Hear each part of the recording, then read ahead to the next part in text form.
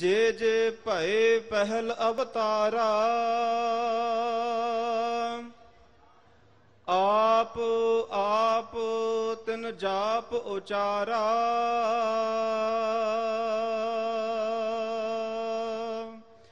ਜੇ ਜੇ ਭਏ ਪਹਿਲ ਅਵਤਾਰਾ,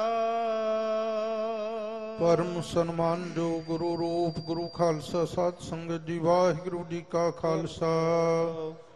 ਵਾਹਿਗੁਰੂ ਜੀ ਕੀ ਫਤਿਹ।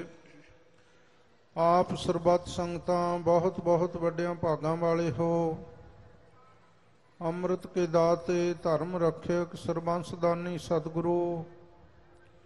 ਲੋਕ ਪ੍ਰਲੋਕ ਦੇ ਮਹਾਨ ਬਖਸ਼ਿਸ਼ਾਂ ਦੇ ਦਾਤੇ ਸਤਿਗੁਰੂ।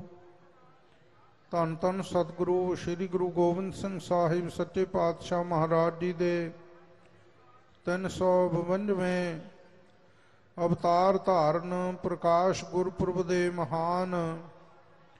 ਇਹਨਾਂ ਸ਼ੁਭ ਅਵਸਰਾਂ ਦੇ ਉੱਤੇ ਸਮਾਗਮਾਂ ਦੇ ਵਿੱਚ ਤਖਤ ਸ੍ਰੀ ਹਰਮੰਦਰ ਜੀ ਪਟਨਾ ਸਾਹਿਬ ਸਤਿਗੁਰਾਂ ਦੇ ਅਵਤਾਰ ਧਾਰਨ ਪਾਵਨ ਪਵਿੱਤਰ ਅਸਥਾਨ ਤੇ ਸੰਗਤਾਂ ਪਿਛਲੇ ਦਿਨਾਂ ਤੋਂ ਬੜੀ ਸ਼ਰਧਾ ਭਾਵਨਾ ਤੇ ਉਤਸ਼ਾਹ ਦੇ ਨਾਲ ਹਾਜ਼ਰੀਆਂ ਭਰ ਕੇ ਹਜੂਰ ਦੇ ਪਾਵਨ ਦਰਸ਼ਨ ਕਰਕੇ ਹਜੂਰ ਦੇ ਪਾਵਨ ਚਰਨਾਂ ਵਿੱਚ ਆਪਣਾ ਮਸਤਕ ਨਤ ਮਸਤਕ ਹੋ ਕਰਕੇ ਅਤੇ ਮਨ ਇੱਛਤ ਦਾਤਾਂ ਪ੍ਰਾਪਤ ਕਰਦੇ ਹੋਏ ਲੋਕ ਪ੍ਰਲੋਕ ਦੀਆਂ ਬਖਸ਼ਿਸ਼ਾਂ ਦੇ ਮਹਾਨ ਬਖਸ਼ਿਸ਼ਾਂ ਨੂੰ ਪ੍ਰਾਪਤ ਕਰਕੇ ਸਤਸੰਗਤ ਦੇ ਵਿੱਚ ਜੁੜ ਕਰਕੇ ਆਪਣੇ ਮਨੁੱਖਾ ਜੀਵਨ ਦੀਆਂ ਘੜੀਆਂ ਨੂੰ ਸਫਲ ਕਰ ਰਹੇ ਹੋ।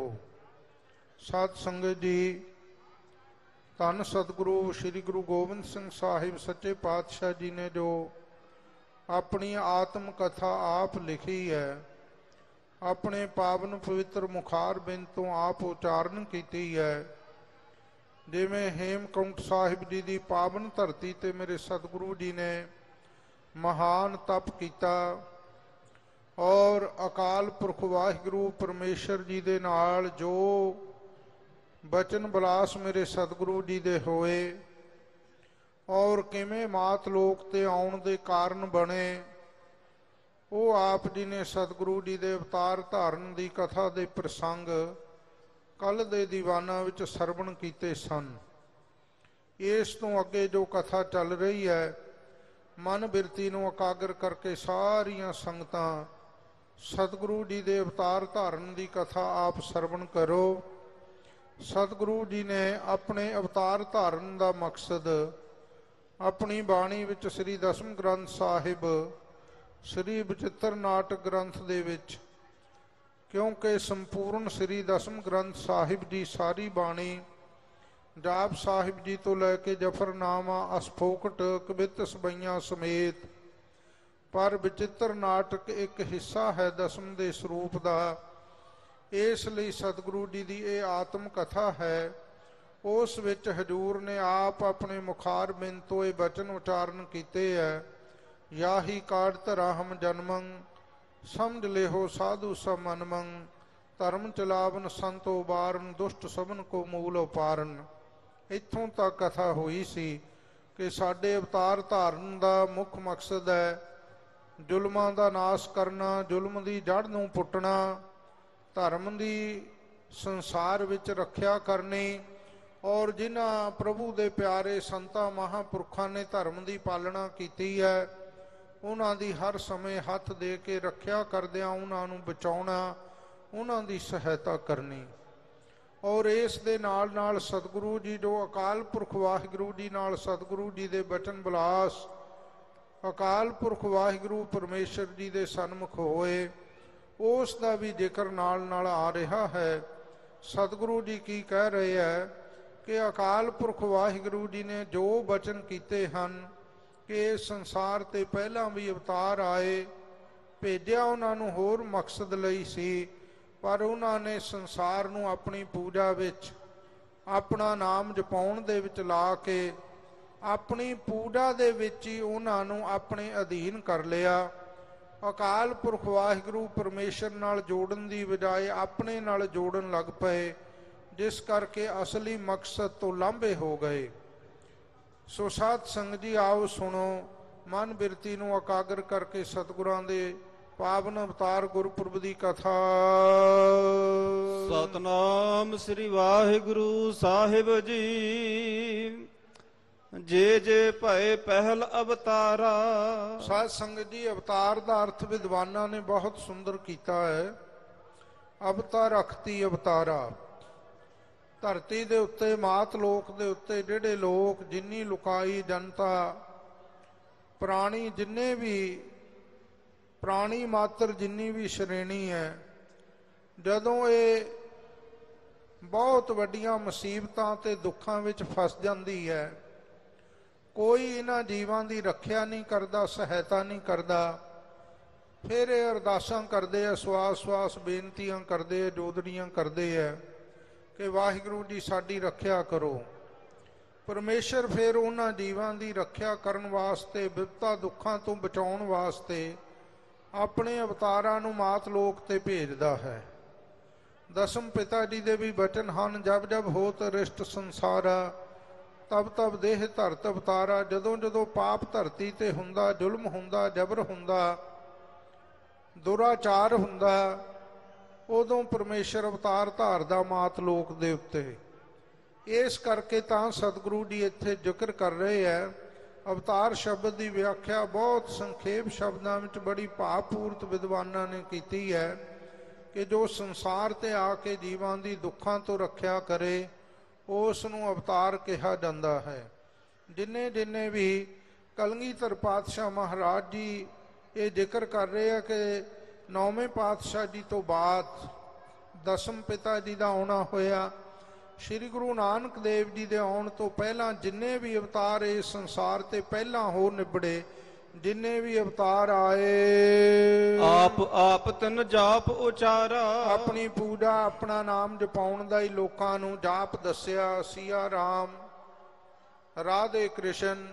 ਐਸਾ ਜਾਪ ਉਹਨਾਂ ਨੇ ਉਚਾਰਨ ਕਰਨ ਦੀ ਆਗਿਆ ਕੀਤੀ ਕਿ ਸਾਡਾ ਹੀ ਜਾਪ ਕਰੋ ਸਾਡੇ ਨਾਮ ਦਾ ਹੀ ਜਪ ਕਰਨਾ ਕਰੋ ਆਪੋ ਆਪਣਾ ਜਾਪ ਹਉਮੈ ਦੇ ਵਿੱਚ ਆ ਕਰਕੇ ਉਹਨਾਂ ਨੇ ਉਚਾਰਨ ਦਾ ਸਾਰਿਆਂ ਲਈ ਵਿਧੀ ਵਿਧਾਨ ਬਣਾਇਆ ਆਗਿਆ ਕੀਤੀ ਹੈ। ਪ੍ਰਭ ਦੋਖੀ ਕੋਈ ਨਾ ਬਿਦਾਰਾ। ਜਿਹੜੇ ਪ੍ਰਭੂ ਦੇ ਦੋਖੀ ਸਨ ਪਰਮੇਸ਼ਰ ਵਾਹਿਗੁਰੂ ਦੇ ਨਾਲ ਬਰਾਬਰਤਾ ਕਰਨ ਵਾਲੇ ਰੱਬ ਤੋਂ ਵੀ ਆਪਣੇ ਆਪ ਨੂੰ ਵੱਡਾ ਖਵਾਉਣ ਵਾਲੇ ਜਿਹੜੇ ਲੋਕ ਸਨ ਉਹਨਾਂ ਨੂੰ ਇਸ ਧਰਤੀ ਤੋਂ ਨਾਸ ਨਹੀਂ ਕੀਤਾ ਉਹਨਾਂ ਦਾ ਮੁਕਾਬਲਾ ਨਹੀਂ ਕੀਤਾ। ਪ੍ਰਭੂ ਪਰਮੇਸ਼ਰ ਦੇ ਦੋਖੀਆਂ ਨੂੰ ਜੋ ਇਸ ਧਰਤੀ ਤੋਂ ਉਹਨਾਂ ਦਾ ਨਾਸ ਕਰਨਾ ਸੀ ਉਹਨਾਂ ਨੂੰ ਡੰਨ ਦੇਣਾ ਸੀ ਇਸ ਧਰਤੀ ਤੋਂ ਉਹਨਾਂ ਨੂੰ ਪਾਸੇ ਕਰਨਾ ਸੀ। ਉਹ ਕਰਤੱਵ ਇਹਨਾਂ ਨੇ ਨਾ ਕੀਤਾ। ਪ੍ਰਭੂ ਦੇ ਦੋਖੀਆਂ ਨੂੰ ਇਸ ਲੋਕਾਈ ਨੂੰ ਪ੍ਰਭੂ ਦੇ ਦੋਖੀਆਂ ਤੋਂ ਬਚਾਉਣ ਵਾਸਤੇ ਕਿਸੇ ਦੀ ਸਹਾਇਤਾ ਨਹੀਂ ਕੀਤੀ ਹੈ। ਧਰਮ ਕਰਮ ਕੋ ਰਾਹੋ ਨਾ ਡਾਰਾ। ਜਿਹੜੇ ਕਰਮ ਧਰਮ ਦੇ ਹੈ ਧਰਮ ਵਾਲੇ ਕਰਮ ਧਰਮ ਦੇ ਅਸੂਲਾਂ ਅਨੁਸਾਰ ਜੀਵਨ ਚਲਾਉਣਾ ਧਰਮ ਦੇ ਅਸੂਲਾਂ ਅਨੁਸਾਰ ਆਪਣੇ ਜੀਵਨ ਨੂੰ ਚਲਾਉਂਦਿਆਂ ਲੋਕਾਂ ਨੂੰ ਧਰਮ ਦੇ ਅਸੂਲਾਂ ਦੇ ਵਿੱਚ ਪ੍ਰਵਿਰਤ ਕਰਨਾ, ਉਹ ਜਿਹੜੇ ਧਰਮ ਦੇ ਸ਼ੁਭ ਕਰਮ ਸਨ, ਉਹਨਾਂ ਦੇ ਉੱਤੇ ਤਾਂ ਕਿਸੇ ਨੂੰ ਤੁਰਨ ਵਾਸਤੇ, ਤੋਰਨ ਵਾਸਤੇ ਆਗਿਆ ਹੀ ਨਹੀਂ ਦਿੱਤੀ, ਪ੍ਰੇਰਣਾ ਨਹੀਂ ਦਿੱਤੀ। ਔਰ ਕਿਸੇ ਨੂੰ ਧਰਮ ਦੇ ਰਸਤੇ ਤੇ ਨਹੀਂ ਤੋਰਿਆ ਨਹੀਂ ਚਲਾਇਆ। ਜੇ ਜੇ ਗੌਸ ਅੰਬੀਆ ਭਏ। ਜਿੰਨੇ ਵੀ ਗੌਸ ਮੁਸਲਮਾਨ ਫਕੀਰਾਂ ਦਾ ਇੱਕ ਖਾਸ ਦਰਜਾ ਹੈ। ਔਰ ਧਾਰਮਿਕ ਗ੍ਰੰਥਾਂ ਦੇ ਵਿੱਚ ਇਹ ਗੱਲ ਵੀ ਆਉਂਦੀ ਹੈ ਕਿ ਗੌਸ ਫਕੀਰ ਕਿਸ ਨੂੰ ਕਿਹਾ ਜਾਂਦਾ ਹੈ ਜੋ ਆਪਣੇ ਮਰੀਦਾਂ ਦੀ ਫਰਿਆਦ ਸੁਣ ਕੇ ਪ੍ਰਾਰਥਨਾ ਸੁਣ ਕੇ ਉਹਨਾਂ ਦੀ ਇਉਂ ਕਹਿ ਲੋ ਅਰਦਾਸ ਸੁਣ ਕੇ ਉਹਨਾਂ ਦੀ ਕਾਮਨਾ ਨੂੰ ਪੂਰੀ ਕਰਨ ਦੀ ਜਿਹਦੇ ਵਿੱਚ ਸ਼ਕਤੀ ਹੈ, ਇੱਛਾ ਪੂਰੀ ਕਰਨ ਦੀ ਜਿਹਦੇ ਵਿੱਚ ਤਾਕਤ ਹੈ, ਬਰਕਤ ਹੈ, ਕਰਾਮਾਤ ਹੈ, ਜੋ ਦੁਨੀਆ ਦੀਆਂ ਫਰਿਆਦਾਂ ਨੂੰ ਸੁਣ ਕੇ ਉਹਨਾਂ ਦੀ ਫਰਿਆਦ ਪੂਰੀ ਕਰਦਾ, ਇੰਨੀ ਜਿਹੜਾ ਸ਼ਕਤੀ ਵਾਲਾ ਹੁੰਦਾ ਉਸ ਨੂੰ ਗੌਸ ਫਕੀਰ ਕਿਹਾ ਜਾਂਦਾ। ਮੁਸਲਮਾਨਾਂ ਵਿੱਚ ਇੱਕ ਇਹ ਗੌਸ ਜਿਹੜਾ ਫਕੀਰਾਂ ਦਾ ਇੱਕ ਖਾਸ ਦਰਜਾ। ਦਸਮ ਪਿਤਾ ਜੀ ਨੇ ਚਰਿਤਰਾਂ ਦੇ ਵਿੱਚ ਬੜਾ ਸੁੰਦਰ ਦੋ ਪੰਕਤੀਆਂ ਵਿੱਚ ਹੀ ਜ਼ਿਕਰ ਕੀਤਾ। ਬਰਾਜ, ਕਟੇ, ਅੰਗ ਬਸਤਰੋਂ ਲਪੇਟੇ, ਜੁਮੇ ਕੇ ਮਨੋ ਰੋਜ ਮੈਂ ਗੌਂਸ ਲੇਟੇ। ਕਿ ਜਿਹੜੇ ਗੌਂਸ ਫਕੀਰ ਹੁੰਦੇ ਆ, ਜਦੋਂ ਧਿਆਨ ਪ੍ਰਾਇਣ ਆਪਣੀ ਅਵਸਥਾ ਨੂੰ ਕਰ ਲੈਂਦੇ ਆ, ਤਾਂ ਆਪਣੇ ਸਰੀਰ ਦੇ ਅੰਗਾਂ ਨੂੰ ਜੁਦੇ ਜੁਦੇ ਕਰਨ ਦੀ ਵੀ ਉਹਨਾਂ ਵਿੱਚ ਸ਼ਕਤੀ ਹੁੰਦੀ ਹੈ। ਵੱਖਰੇ ਵੱਖਰੇ ਅੰਗ ਕਰਕੇ ਲੋਕਾਂ ਨੂੰ ਵਿਖਾ ਦਿੰਦੇ ਹਨ। ਤਾਂ ਇੱਥੇ ਜ਼ਿਕਰ ਕੀਤਾ ਜਿਹੜੇ ਕਹਿੰਦੇ ਇੰਨੀਆਂ ਸ਼ਕਤੀਆਂ ਵਾਲੇ ਗੌਸ ਫਕੀਰ ਵੀ ਹੋਏ। ਅੰਬੀਆ ਦੁਨੀਆ ਦੇ ਅੰਦਰ ਅੰਬਰ ਤੋਂ ਪੈਗੰਬਰ, ਪ੍ਰਮਾਤਮਾ ਦਾ ਪੈਗਾਮ ਲਿਆਉਣ ਵਾਲੇ, ਜਿਨ੍ਹਾਂ ਨੂੰ ਪੈਗੰਬਰ ਕਿਹਾ ਜਾਂਦਾ ਹੈ ਜਿੰਨੇ ਵੀ ਇਹ ਸੰਸਾਰ ਤੇ ਹੋਏ ਗੌਸ ਫਕੀਰ ਅਤੇ ਪੈਗੰਬਰ ਆਦਿਕ। ਮੈਂ ਮੈਂ ਕਰਤ ਜਗਤ ਤੇ ਗਏ। ਮੈਂ ਮੈਂ ਕਰਦੇ ਹੋਏ ਆਪਣੀ ਪੂਜਾ ਵਿੱਚ ਲਾ ਕੇ ਆਪਣੇ ਨਾਲ ਜੋੜਨ ਵਿੱਚ ਹੀ ਦੁਨੀਆ ਤੋਂ ਮੈਂ ਮੈਂ ਦਾ ਸ਼ਿਕਾਰ ਹੋ ਕਰਕੇ ਦੁਨੀਆ ਤੋਂ ਤੁਰ ਗਏ। ਮਹਾਪੁਰਖ ਕਾਹੂ ਨਾ ਪਛਾਨਾ। ਜੋ ਵੱਡਾ ਅਕਾਲ ਪੁਰਖ ਵਾਹਿਗੁਰੂ ਪਰਮੇਸ਼ਰ ਹੈ ਸਾਰਿਆਂ ਤੋਂ। ਉਸ ਦੀ ਆਪ ਵੀ ਪਹਿਚਾਨ ਨਾ ਕੀਤੀ ਆਪ ਵੀ ਉਹਦੀ ਪ੍ਰਾਪਤੀ ਨਾ ਕਰ ਸਕੇ। ਉਹਦੀਆਂ ਸ਼ਕਤੀਆਂ ਨੂੰ ਹਾਸਲ ਕਰਨ ਵਾਸਤੇ ਤਾਂ ਸਾਧਨ ਕਰ ਲਏ ਪਰ ਉਸ ਨੂੰ ਪ੍ਰਾਪਤ ਨਾ ਕੀਤਾ। ਇਉਂ ਵਈ ਵਾਹਿਗੁਰੂ ਦੀ ਆਪ ਵੀ ਪਹਿਚਾਨ ਨਾ ਕੀਤੀ ਪਹਿਚਾਨ ਕੀ ਆਪ ਵੀ ਦਰਸ਼ਨ ਨਾ ਕੀਤੇ ਉਸ ਦੇ ਚਰਨਾਂ ਵਿੱਚ ਪ੍ਰੇਮਾ ਭਗਤੀ ਦੇ ਪਰਾਇਣ ਹੋ ਕੇ। ਕਰਮ ਧਰਮ ਕੋ ਕਛੂ ਨ ਜਾਣਾ। ਜਿਹੜੇ ਧਰਮ ਦੇ ਕਰਮ ਸਨ ਉਹਨਾਂ ਨੂੰ ਵੀ ਜੋ ਕਰਨ ਵਾਲੇ ਸਨ ਧਰਮ ਦਾ ਮਤਲਬ ਹੈ ਧਰਮ ਦੇ ਉਹ ਕਰਮ। ਧਰਮ ਦੀ ਸਾਧਾਰਨ ਵਿਆਖਿਆ ਹੈ। ਜੀਵਨ ਦੀ ਉਹ ਉੱਚੀ ਸੁੱਚੀ, ਮਹਾਨ ਘਾਲਣਾ, ਘਾਲਦਿਆਂ ਘਾਲਦਿਆਂ ਧਰਮ ਦੇ ਮਾਰਗ ਤੇ ਚੱਲ ਕੇ ਜਿਸ ਦੁਆਰਾ ਪਰਮ ਪਿਤਾ ਵਾਹਿਗੁਰੂ ਪਰਮੇਸ਼ਰ ਨਾਲ ਜੁੜਿਆ ਜਾਵੇ, ਉਹਨੂੰ ਧਰਮ ਦੀ ਮਰਿਆਦਾ ਕਿਹਾ ਜਾਂਦਾ ਹੈ। ਵੈਸੇ ਲਾਤੀਨੀ ਭਾਸ਼ਾ ਦੇ ਵਿੱਚ ਸਾਧ ਸੰਗਤ ਧਰਮ ਸ਼ਬਦ ਦੀ ਬਹੁਤ ਹੀ ਸੁੰਦਰ ਵਿਆਖਿਆ ਹੈ। ਬਹੁਤ ਵਿਆਖਿਆ ਹੈ ਧਰਮ ਸ਼ਬਦ ਦੀ, ਪਰ ਉਹਨਾਂ ਨੇ ਬਹੁਤ ਹੀ ਸੋਹਣੀ ਵਿਆਖਿਆ ਕੀਤੀ। ਕਹਿੰਦੇ, ਧਰਮ ਕਿਸ ਨੂੰ ਕਿਹਾ ਜਾਂਦਾ? ਜਿਹੜੀਆਂ ਰੂਹਾਂ ਪ੍ਰਮਾਤਮਾ ਨਾਲੋਂ, ਵਾਹਿਗੁਰੂ ਨਾਲੋਂ ਟੁੱਟ ਚੁੱਕੀਆਂ, ਉਹਨਾਂ ਟੁੱਟੀਆਂ ਰੂਹਾਂ ਨੂੰ ਦੁਬਾਰਾ ਪ੍ਰਮਾਤਮਾ ਨਾਲ, ਵਾਹਿਗੁਰੂ ਪਰਮੇਸ਼ਰ ਨਾਲ ਜਿਹੜਾ ਸਾਧਨ ਜੋੜ ਦਵੇ, ਉਸ ਨੂੰ ਧਰਮ ਕਿਹਾ ਜਾਂਦਾ ਹੈ। ਧੰਨ ਗੁਰੂ ਅਰਜਨ ਦੇਵ ਸਾਹਿਬ ਜੀ ਨੇ ਬੜਾ ਸੁੰਦਰ ਬਚਨ ਕੀਤਾ। ਸਰਬ ਧਰਮ ਹੈ ਸ੍ਰੇਸ਼ਟ ਧਰਮ, ਹਰ ਕੋ ਨਾਮ ਜਪ ਨਿਰਮਲ ਕਰਮ। ਸ਼ੁਭ ਕਰਮ ਕਰਨੇ ਤੇ ਨਾਮ ਜਪਣਾ ਇਹੀ ਧਰਮ ਹੈ ਗੁਰਸਿੱਖਾਂ ਦਾ। ਔਰ ਇਸ ਧਰਮ ਨੂੰ ਅਪਣਾ ਕੇ ਇਸ ਧਰਮ ਤੇ ਚੱਲ ਕੇ ਵਾਹਿਗੁਰੂ ਦੇ ਨਾਲ ਜੁੜਿਆ ਜਾਂਦਾ, ਉਹਦੀ ਪ੍ਰਾਪਤੀ, ਉਸ ਦੇ ਵਿੱਚ ਅਭੇਦਤਾ ਪ੍ਰਾਪਤ ਹੁੰਦੀ ਹੈ। ਤਾਜ ਸਭ ਭਰਮ ਤਜੋ ਤਾਜ ਸਭ ਭਰਮ ਤਜੋ ਪਾਰ ਬ੍ਰਹਮ, ਕਹੋ ਨਾਨਕ ਅਟਾਲੇ ਹੋ ਧਰਮ। ਸਾਰੇ ਭਰਮਾਂ ਦਾ ਤਿਆਗ ਕਰਕੇ ਪਰਮੇਸ਼ਰ ਦੇ ਨਾਮ ਦਾ ਭਜਨ ਕਰਨਾ, ਇਹੀ ਭਾਈ ਅਸਲੀ ਧਰਮ ਹੈ। ਗੁਰਸਿੱਖਾਂ ਨੂੰ ਕਿਰਤ ਕਰਨੀ, ਨਾਮ ਜਪਣਾ, ਵੰਡ ਛਕਣਾ, ਇਹ ਗੁਰਸਿੱਖੀ ਦਾ ਬੜਾ ਸੁਨਹਿਰੀ ਧਰਮ ਦੇ ਮਹਾਨ ਸਿਧਾਂਤ ਮੇਰੇ ਸਤਿਗੁਰੂ ਜੀ ਨੇ, ਧੰਨ ਸ਼੍ਰੀ ਗੁਰੂ ਨਾਨਕ ਦੇਵ ਜੀ ਨੇ ਬਖਸ਼ਿਸ਼ ਕੀਤੇ ਆ ਇਸ ਕਰਕੇ ਧਰਮ ਦੇ ਮਾਰਗ ਨੂੰ ਉਹ ਥੋੜਾ ਜਾਣਾ ਥੋੜਾ ਜਿੰਨਾ ਵੀ ਰੰਚਕ ਜਿੰਨਾ ਵੀ ਉਹਨਾਂ ਨੇ ਜਾਣਿਆ ਨਹੀਂ ਧਿਆਨ ਨਹੀਂ ਦਿੱਤਾ ਨਾ ਉਸ ਦੀ ਪ੍ਰਾਪਤੀ ਕੀਤੀ। ਅਵਰਨ ਕੀ ਆਸਾ ਕਿਛ ਨਾਹੀ? ਹੋਰਾਂ ਦੇ ਉੱਤੇ ਆਸ ਰੱਖਣ ਨਾਲ ਕੁਝ ਵੀ ਜੀਵਨ ਵਿੱਚ ਮਹਾਰਾਜ ਕਹਿੰਦੇ ਮਨੁੱਖਾਂ ਤੇ ਆਸ ਰੱਖਣ ਨਾਲ ਮਾਨੋ ਕੀ ਟੇਕ ਬਿਰਥੀ ਸਭ ਜਾਨ ਦੇਵਨ ਕੋ ਇੱਕ ਹੈ ਭਗਵਾਨ। ਮਨੁੱਖਾਂ ਦੇ ਉੱਤੇ ਹੋਰਾਂ ਦੇ ਉੱਤੇ ਆਸ ਰੱਖਣ ਦੇ ਨਾਲ ਭਰੋਸਾ ਰੱਖਣ ਦੇ ਨਾਲ ਕੁਝ ਨਹੀਂ ਪ੍ਰਾਪਤ ਹੋਏਗਾ। ਏਕੈ ਆਸ ਧਰੋ ਮਨ ਮਾਹੀ। ਜੇ ਇਹਨਾਂ ਲੋਕਾਂ ਤੇ ਆਸ ਰੱਖੋਗੇ ਕੋਈ ਆਸ ਨਹੀਂ ਪੂਰਨ ਹੋਏਗੀ। ਇੱਕ ਵਾਹਿਗੁਰੂ ਪਰਮੇਸ਼ਰ ਉੱਤੇ ਆਸ ਰੱਖੋ ਭਰੋਸਾ ਰੱਖੋ ਉਸੇ ਤੇ ਆਸ ਟੇਕ ਲਾਓ। ਉਹਦੀ ਜਦੋਂ ਟੇਕ ਰੱਖੋਗੇ ਤਾਂ ਭਾਈ ਸਾਰਾ ਕੁਝ ਹੀ ਜੀਵਨ ਵਿੱਚ ਪ੍ਰਾਪਤ ਹੋ ਜਾਏਗਾ। ਇੱਕ ਇੱਕ ਉੱਤੇ ਹੀ ਇੱਕ ਵਾਹਿਗੁਰੂ ਦੇ ਉੱਤੇ ਹੀ ਭਰੋਸਾ ਵਿਸ਼ਵਾਸ ਰੱਖਣਾ ਹੈ। ਆਨ ਆਸ ਉਪਜਿਤ ਕਿਛ ਨਾਹੀ। ਹੋਰਾਂ ਮਨੁੱਖਾਂ ਦੀ ਟੇਕ ਲੈਣ ਦੇ ਨਾਲ ਹੋਰਾਂ ਮਨੁੱਖਾਂ ਦੇ ਉੱਤੇ ਆਸ ਲਾਉਣ ਦੇ ਨਾਲ ਕੁਝ ਵੀ ਪ੍ਰਾਪਤ ਨਹੀਂ ਹੁੰਦਾ ਜੀਵਨ ਵਿੱਚ ਉਪਜਿਤ ਨਾਮ ਹੁੰਦਾ ਸੁਖ ਨਹੀਂ ਉਤਪਤ ਹੁੰਦੇ ਸੁਖ ਨਹੀਂ ਪੈਦਾ ਹੁੰਦੇ। ਵਾਹ ਕੀ ਆਸ ਧਰੋ ਮਨ ਮਾਹੀ। ਗੁਰਸਿੱਖੋ ਉਸੇ ਵਾਹਿਗੁਰੂ ਦੇ ਉੱਤੇ ਆਪਣਾ ਆਸ ਭਰੋਸਾ ਰੱਖਣਾ ਕਰੋ ਵਿਸ਼ਵਾਸ ਰੱਖੋ। ਦੋਹਰਾ ਕੋਈ ਪੜਤ ਕੁਰਾਨ ਕੋ। ਕੋਈ ਕੁਰਾਨ ਦਾ ਪਾਠ ਕਰਦਾ ਹੈ। ਕੋਈ ਪੜਤ ਪੁਰਾਨ। ਕੋਈ 18 ਪੁਰਾਣਾਂ ਦਾ ਪਾਠ ਅਤੇ ਉਹਨਾਂ ਨੂੰ ਵਿਚਾਰਦਾ ਹੈ।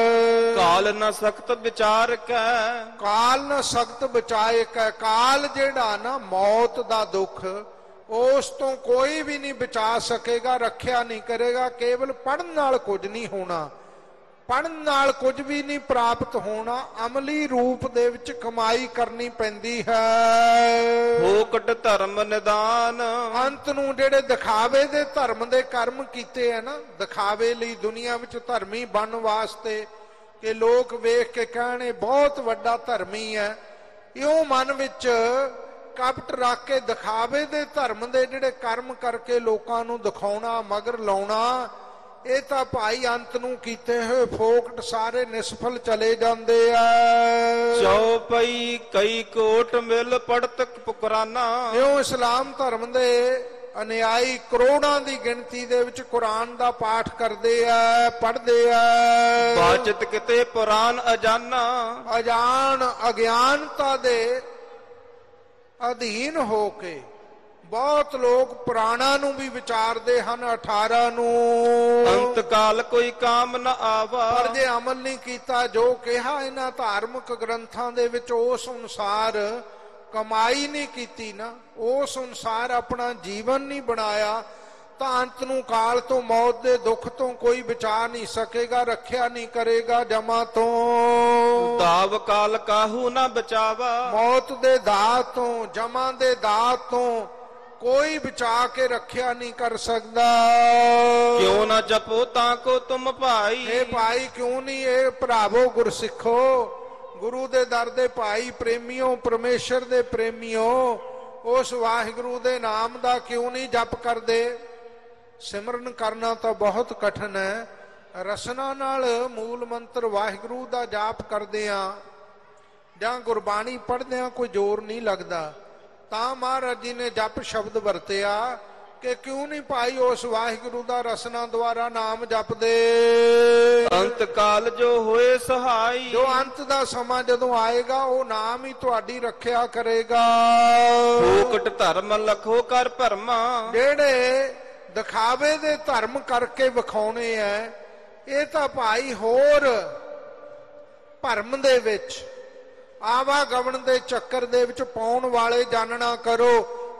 ਕਿਉਂਕਿ ਬੰਦਾ ਅਸਲੀਅਤ ਨੂੰ ਜਦੋਂ ਲੁਕਾ ਕੇ ਦਿਖਾਵਾ ਕੋਈ ਹੋਰ ਕਰਦਾ, ਫਿਰ ਵਾਹਿਗੁਰੂ ਦੀ ਕਰੋਪੀ ਨੂੰ ਵੀ ਸਹਿੜਦਾ। ਫਿਰ ਹੋਰ ਜੰਮਣ ਮਰਨ ਦਾ ਜਿਹੜਾ ਭਰਮ ਚੱਕਰ ਪੈਂਦਾ ਹੈ। ਇਨ ਤੇ ਸਰਤ ਨ ਕੋਈ ਕਰਮਾ। ਦਿਖਾਵੇ ਦੇ ਧਰਮ ਦੇ ਕਰਮ ਕਰਨ ਨਾਲ ਕੋਈ ਕੰਮ ਨਹੀਂ ਸੌਰਦਾ ਨਾ ਹੈ ਲੋਕ ਵਿੱਚ। ਉਗਰ ਗਿਆ ਜੈਸੇ ਖੋਟਾ ਟਬੂਆ ਨਦਰ ਸਰਾਫਾ ਆਇਆ। ਇੱਥੇ ਵੀ ਪਖੰਡ ਦਾ ਪਾਜ ਉਗਣ ਤੋਂ ਦੁਨੀਆ ਵਿੱਚ ਅਪਮਾਨਿਤ ਹੁੰਦਾ। ਵਾਹਿਗੁਰੂ ਦੀ ਦਰਗਾਹ ਤੋਂ ਵੀ ਧੱਕੇ ਪੈਂਦੇ ਹਨ। ਇਹ ਕਾਰਨ ਪ੍ਰਭ ਹਮੈ ਬਨਾਇਓ ਇਸ ਕਰਕੇ ਕੋਈ ਕਾਰਜ ਨਹੀਂ ਸੌਰਦਾ ਲੋਕ ਪਰਲੋਕ ਦਾ।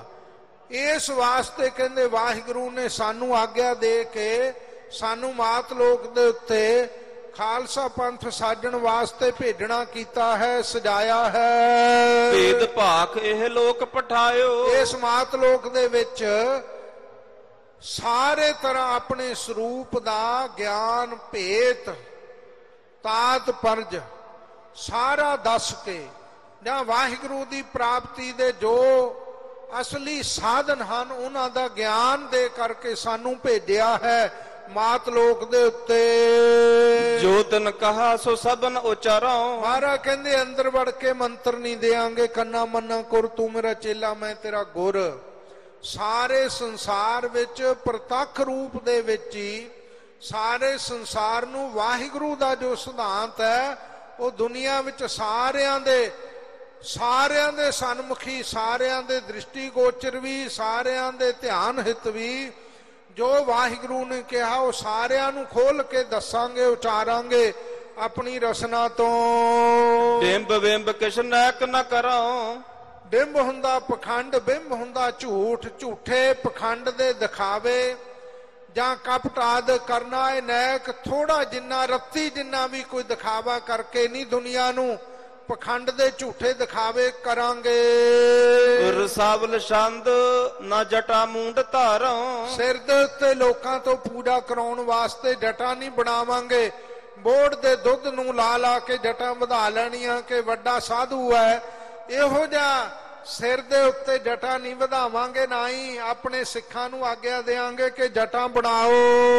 ਨਾ ਮੁੰਦਰ ਕਾ ਸਵਾਰਾਂ। ਕੰਨ ਪਾੜ ਕੇ ਮੁੰਦਰਾਂ ਵੀ ਨਹੀਂ ਪਵਾਵਾਂਗੇ ਗੋਰਖ ਦੀ ਤਰ੍ਹਾਂ। ਜਪੋ ਤਾਸ ਨਾਮ ਮਹਾਰਾ ਕਹਿੰਦੇ ਸਾਡੀ ਤਾਂ ਸਿੱਧੀ ਸਾਦੀ ਸਪਸ਼ਟ ਰਹਿਣੀ ਹੈ ਕਿ ਗੁਰਸਿੱਖੋ ਤੇ ਵਾਹਿਗੁਰੂ ਦਾ ਨਾਮ ਜਪੋ।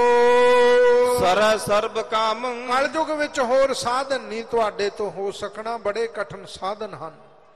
ਇਸ ਕਰਕੇ ਵਾਹਿਗੁਰੂ ਪਰਮੇਸ਼ਰ ਦਾ ਨਾਮ ਜਪੋ ਜਿਸ ਕਰਕੇ ਸਾਰੇ ਕਾਰਜ ਹੀ ਤੁਹਾਡੇ ਲੋਕ ਪਰਲੋਕ ਦੇ ਸੌਰ ਜਾਣਗੇ ਪੂਰੇ ਹੋਣਗੇ। ਨਾ ਨੈਨੰਗ ਮਚਾਉ ਵੱਡਾ ਧਿਆਨੀ ਬਣ ਕੇ ਸਾਧੂ ਬਣ ਕੇ ਅੱਖਾਂ ਮੀਚ ਕੇ ਬੈਠਣਾ ਰੀੜ ਦੀ ਹੱਡੀ ਸਿੱਧੀ ਕਰਕੇ ਦੁਨੀਆ ਕਾ ਇਹ ਬੜਾ ਵੱਡਾ ਸਾਧਕ ਹੈ।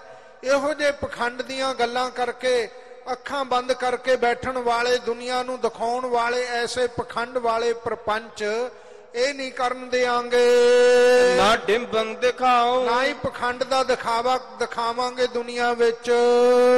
ਨਾ ਕੁਕਰਮੰ ਕਮਾਉ ਖੋਟੇ ਕਰਮ ਵੀ ਨਹੀਂ ਦੁਨੀਆ ਨੂੰ ਕਰਨ ਵਾਸਤੇ ਕਦੇ ਆਗਿਆ ਦੇਾਂਗੇ ਇਹ ਵੀ ਬਚਨ ਕੀਤਾ ਜਿਵੇਂ ਲੋਕ ਕਹਿੰਦੇ ਆ ਨਾ ਨਾਸਤਕ ਆ ਜਗ ਮਿੱਠਾ ਅਗਲਾ ਕਿਨ ਡਿਠਾ। ਕਹਿੰਦੇ ਆ ਜਾਗੀ ਮਠਾਸ ਪੂਰਵਕ ਹੈ ਮਿੱਠੇ ਦਾ ਭਰਿਆ ਖਾਓ ਪੀਓ। ਤੇ ਦੁਨੀਆ ਦੇ ਸਾਰੇ ਸੁੱਖ ਲਓ।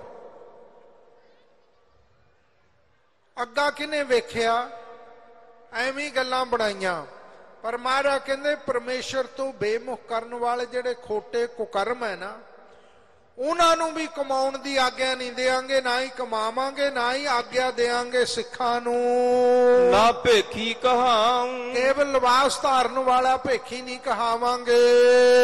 ਚਉਪਈ ਜੇ ਜੇ ਭੇਖ ਸੋ ਤਨ ਮੈਂ ਧਾਰ। ਭੇਖ ਦਾ ਸਤਕਾਰ ਤਾਂ ਜੇ ਕਰਨੀ ਹੈ ਜੇ ਰਹਿਤ ਹੈ ਫਿਰ ਬਹੁਤ ਵੱਡਾ ਸਨਮਾਨ ਹੈ।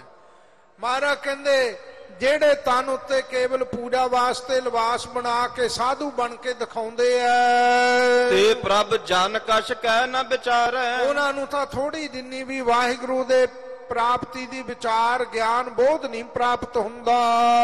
ਸਮਝ ਲਿਓ ਸਭ ਜਨ ਮਨ ਮਾਹੀ। ਸਾਰੇ ਜਨ ਪਿਆਰਿਓ ਮਨ ਵਿੱਚ ਇਹ ਗੱਲ ਨੂੰ ਸਮਝ ਲਓ ਚੰਗੀ ਤਰ੍ਹਾਂ। ਡਿੰਬਨ ਮੈਂ ਪਰਮੇਸ਼ਰ ਨਾਹੀ। ਪਖੰਡ ਕਰਕੇ ਦਿਖਾਉਣ ਵਿੱਚ ਪਰਮੇਸ਼ਰ ਨਹੀਂ ਪ੍ਰਾਪਤ ਹੁੰਦਾ ਨਾ ਉਹਦੀ ਪ੍ਰਸੰਨਤਾ ਹੀ ਮਿਲਦੀ ਹੈ ਜੇ ਜੇ ਕਰਮ ਕਰਤ ਡਿੰਬ ਦਿਖਾਹੀ। ਜਿਹੜੇ ਪਖੰਡ ਵਾਲੇ ਕਰਮ ਕਰਕੇ ਲੋਕਾਂ ਨੂੰ ਦਿਖਾਵਾ ਕਰਦੇ ਆ ਦਿਖਾਉਂਦੇ ਆ। ਤਿਨ ਪਰਲੋਕਨ ਮੋਹ ਗਤ ਨਾਹੀ। ਵਾਹਿਗੁਰੂ ਦੀ ਦਰਗਾਹ ਵਿੱਚ ਪਰਲੋਕ ਵਿੱਚ ਉਹਨਾਂ ਦੀ ਮੁਕਤੀ ਨਹੀਂ ਹੋਏਗੀ ਨਰਕਾਂ ਵਿੱਚ ਪੈਣਗੇ। ਜੀਵਤ ਚਲਤ ਜਗਤ ਕੇ ਕਾਜਾ। ਹਾਂ ਇੱਕ ਗੱਲ ਹੁੰਦੀ ਹੈ ਜਿੰਨਾ ਚਿਰ ਜੀਵਨ ਸਵਾਸ ਹੈ ਨਾ ਉਹਨਾਂ ਤਾਂ ਉਹਨਾਂ ਚਿਰ ਤਾਂ ਸੰਸਾਰ ਵਿੱਚ ਕੁਝ ਸਮਾਂ ਆਪਣੀ ਪੂਜਾ ਕਰਾ ਲੈਣੀ ਦੰਭ ਪਖੰਡ ਬਣਾ ਕੇ ਦੁਨੀਆ ਨੂੰ ਮਗਰ ਲੈਣਾ ਕੁਝ ਸਮਾਂ ਆਪਣੇ ਕੰਮ ਸਵਾਰ ਲਵੇਗਾ ਜਾਂ ਕੰਮ ਸੰਸਾਰ ਦੇ ਬਣਾ ਲਵੇਗਾ ਦੁਨੀਆ ਦੇ ਕਾਰਜਾਂ ਵਿੱਚ ਮਾਇਆ ਆਦਿਕ ਪਦਾਰਥ ਆਉਣ ਤੋਂ ਕੁਝ ਨਾ ਕੁਝ ਦੁਨੀਆ ਦਾ ਧਨ ਅਤੇ ਪਦਾਰਥ ਇਕੱਠੇ ਕਰਨ ਦੇ ਕਾਰਜ ਪੂਰੇ ਕਰ ਲਵੇਗਾ। ਸਵਾਂਗ ਦੇਖ ਕਰ ਪੂਜਤ ਰਾਜਾ। ਨਿਵਾਸ ਦੇ ਕੇ ਰਾਜੇ ਲੋਕ ਵੀ ਪੂਜਣ ਲੱਗ ਜਾਂਦੇ ਐ।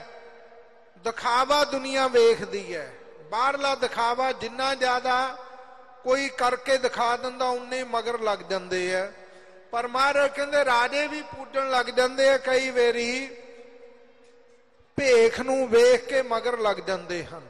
ਰਾਜੇ ਲੋਕ ਵੀ ਪੂਜਾ ਕਰਨ ਲੱਗ ਜਾਂਦੇ ਐ ਸਵੰਗਨ ਮੈਂ ਪਰਮੇਸ਼ਰ ਨਾਹੀ। ਪਰ ਦਿਖਾਵਿਆਂ ਵਿੱਚ ਸਵਾਂਗਾਂ ਵਿੱਚ ਵਾਹਿਗੁਰੂ ਪਰਮੇਸ਼ਰ ਸਵਾਂਗ ਕੀ ਚੋਰ ਨੇ ਸਾਧੂ ਦਾ ਬਾਣਾ ਪਾ ਲਿਆ ਇਸ ਤਰ੍ਹਾਂ ਸਾਧੂ ਬਣ ਕੇ ਦਿਖਾਇਆ।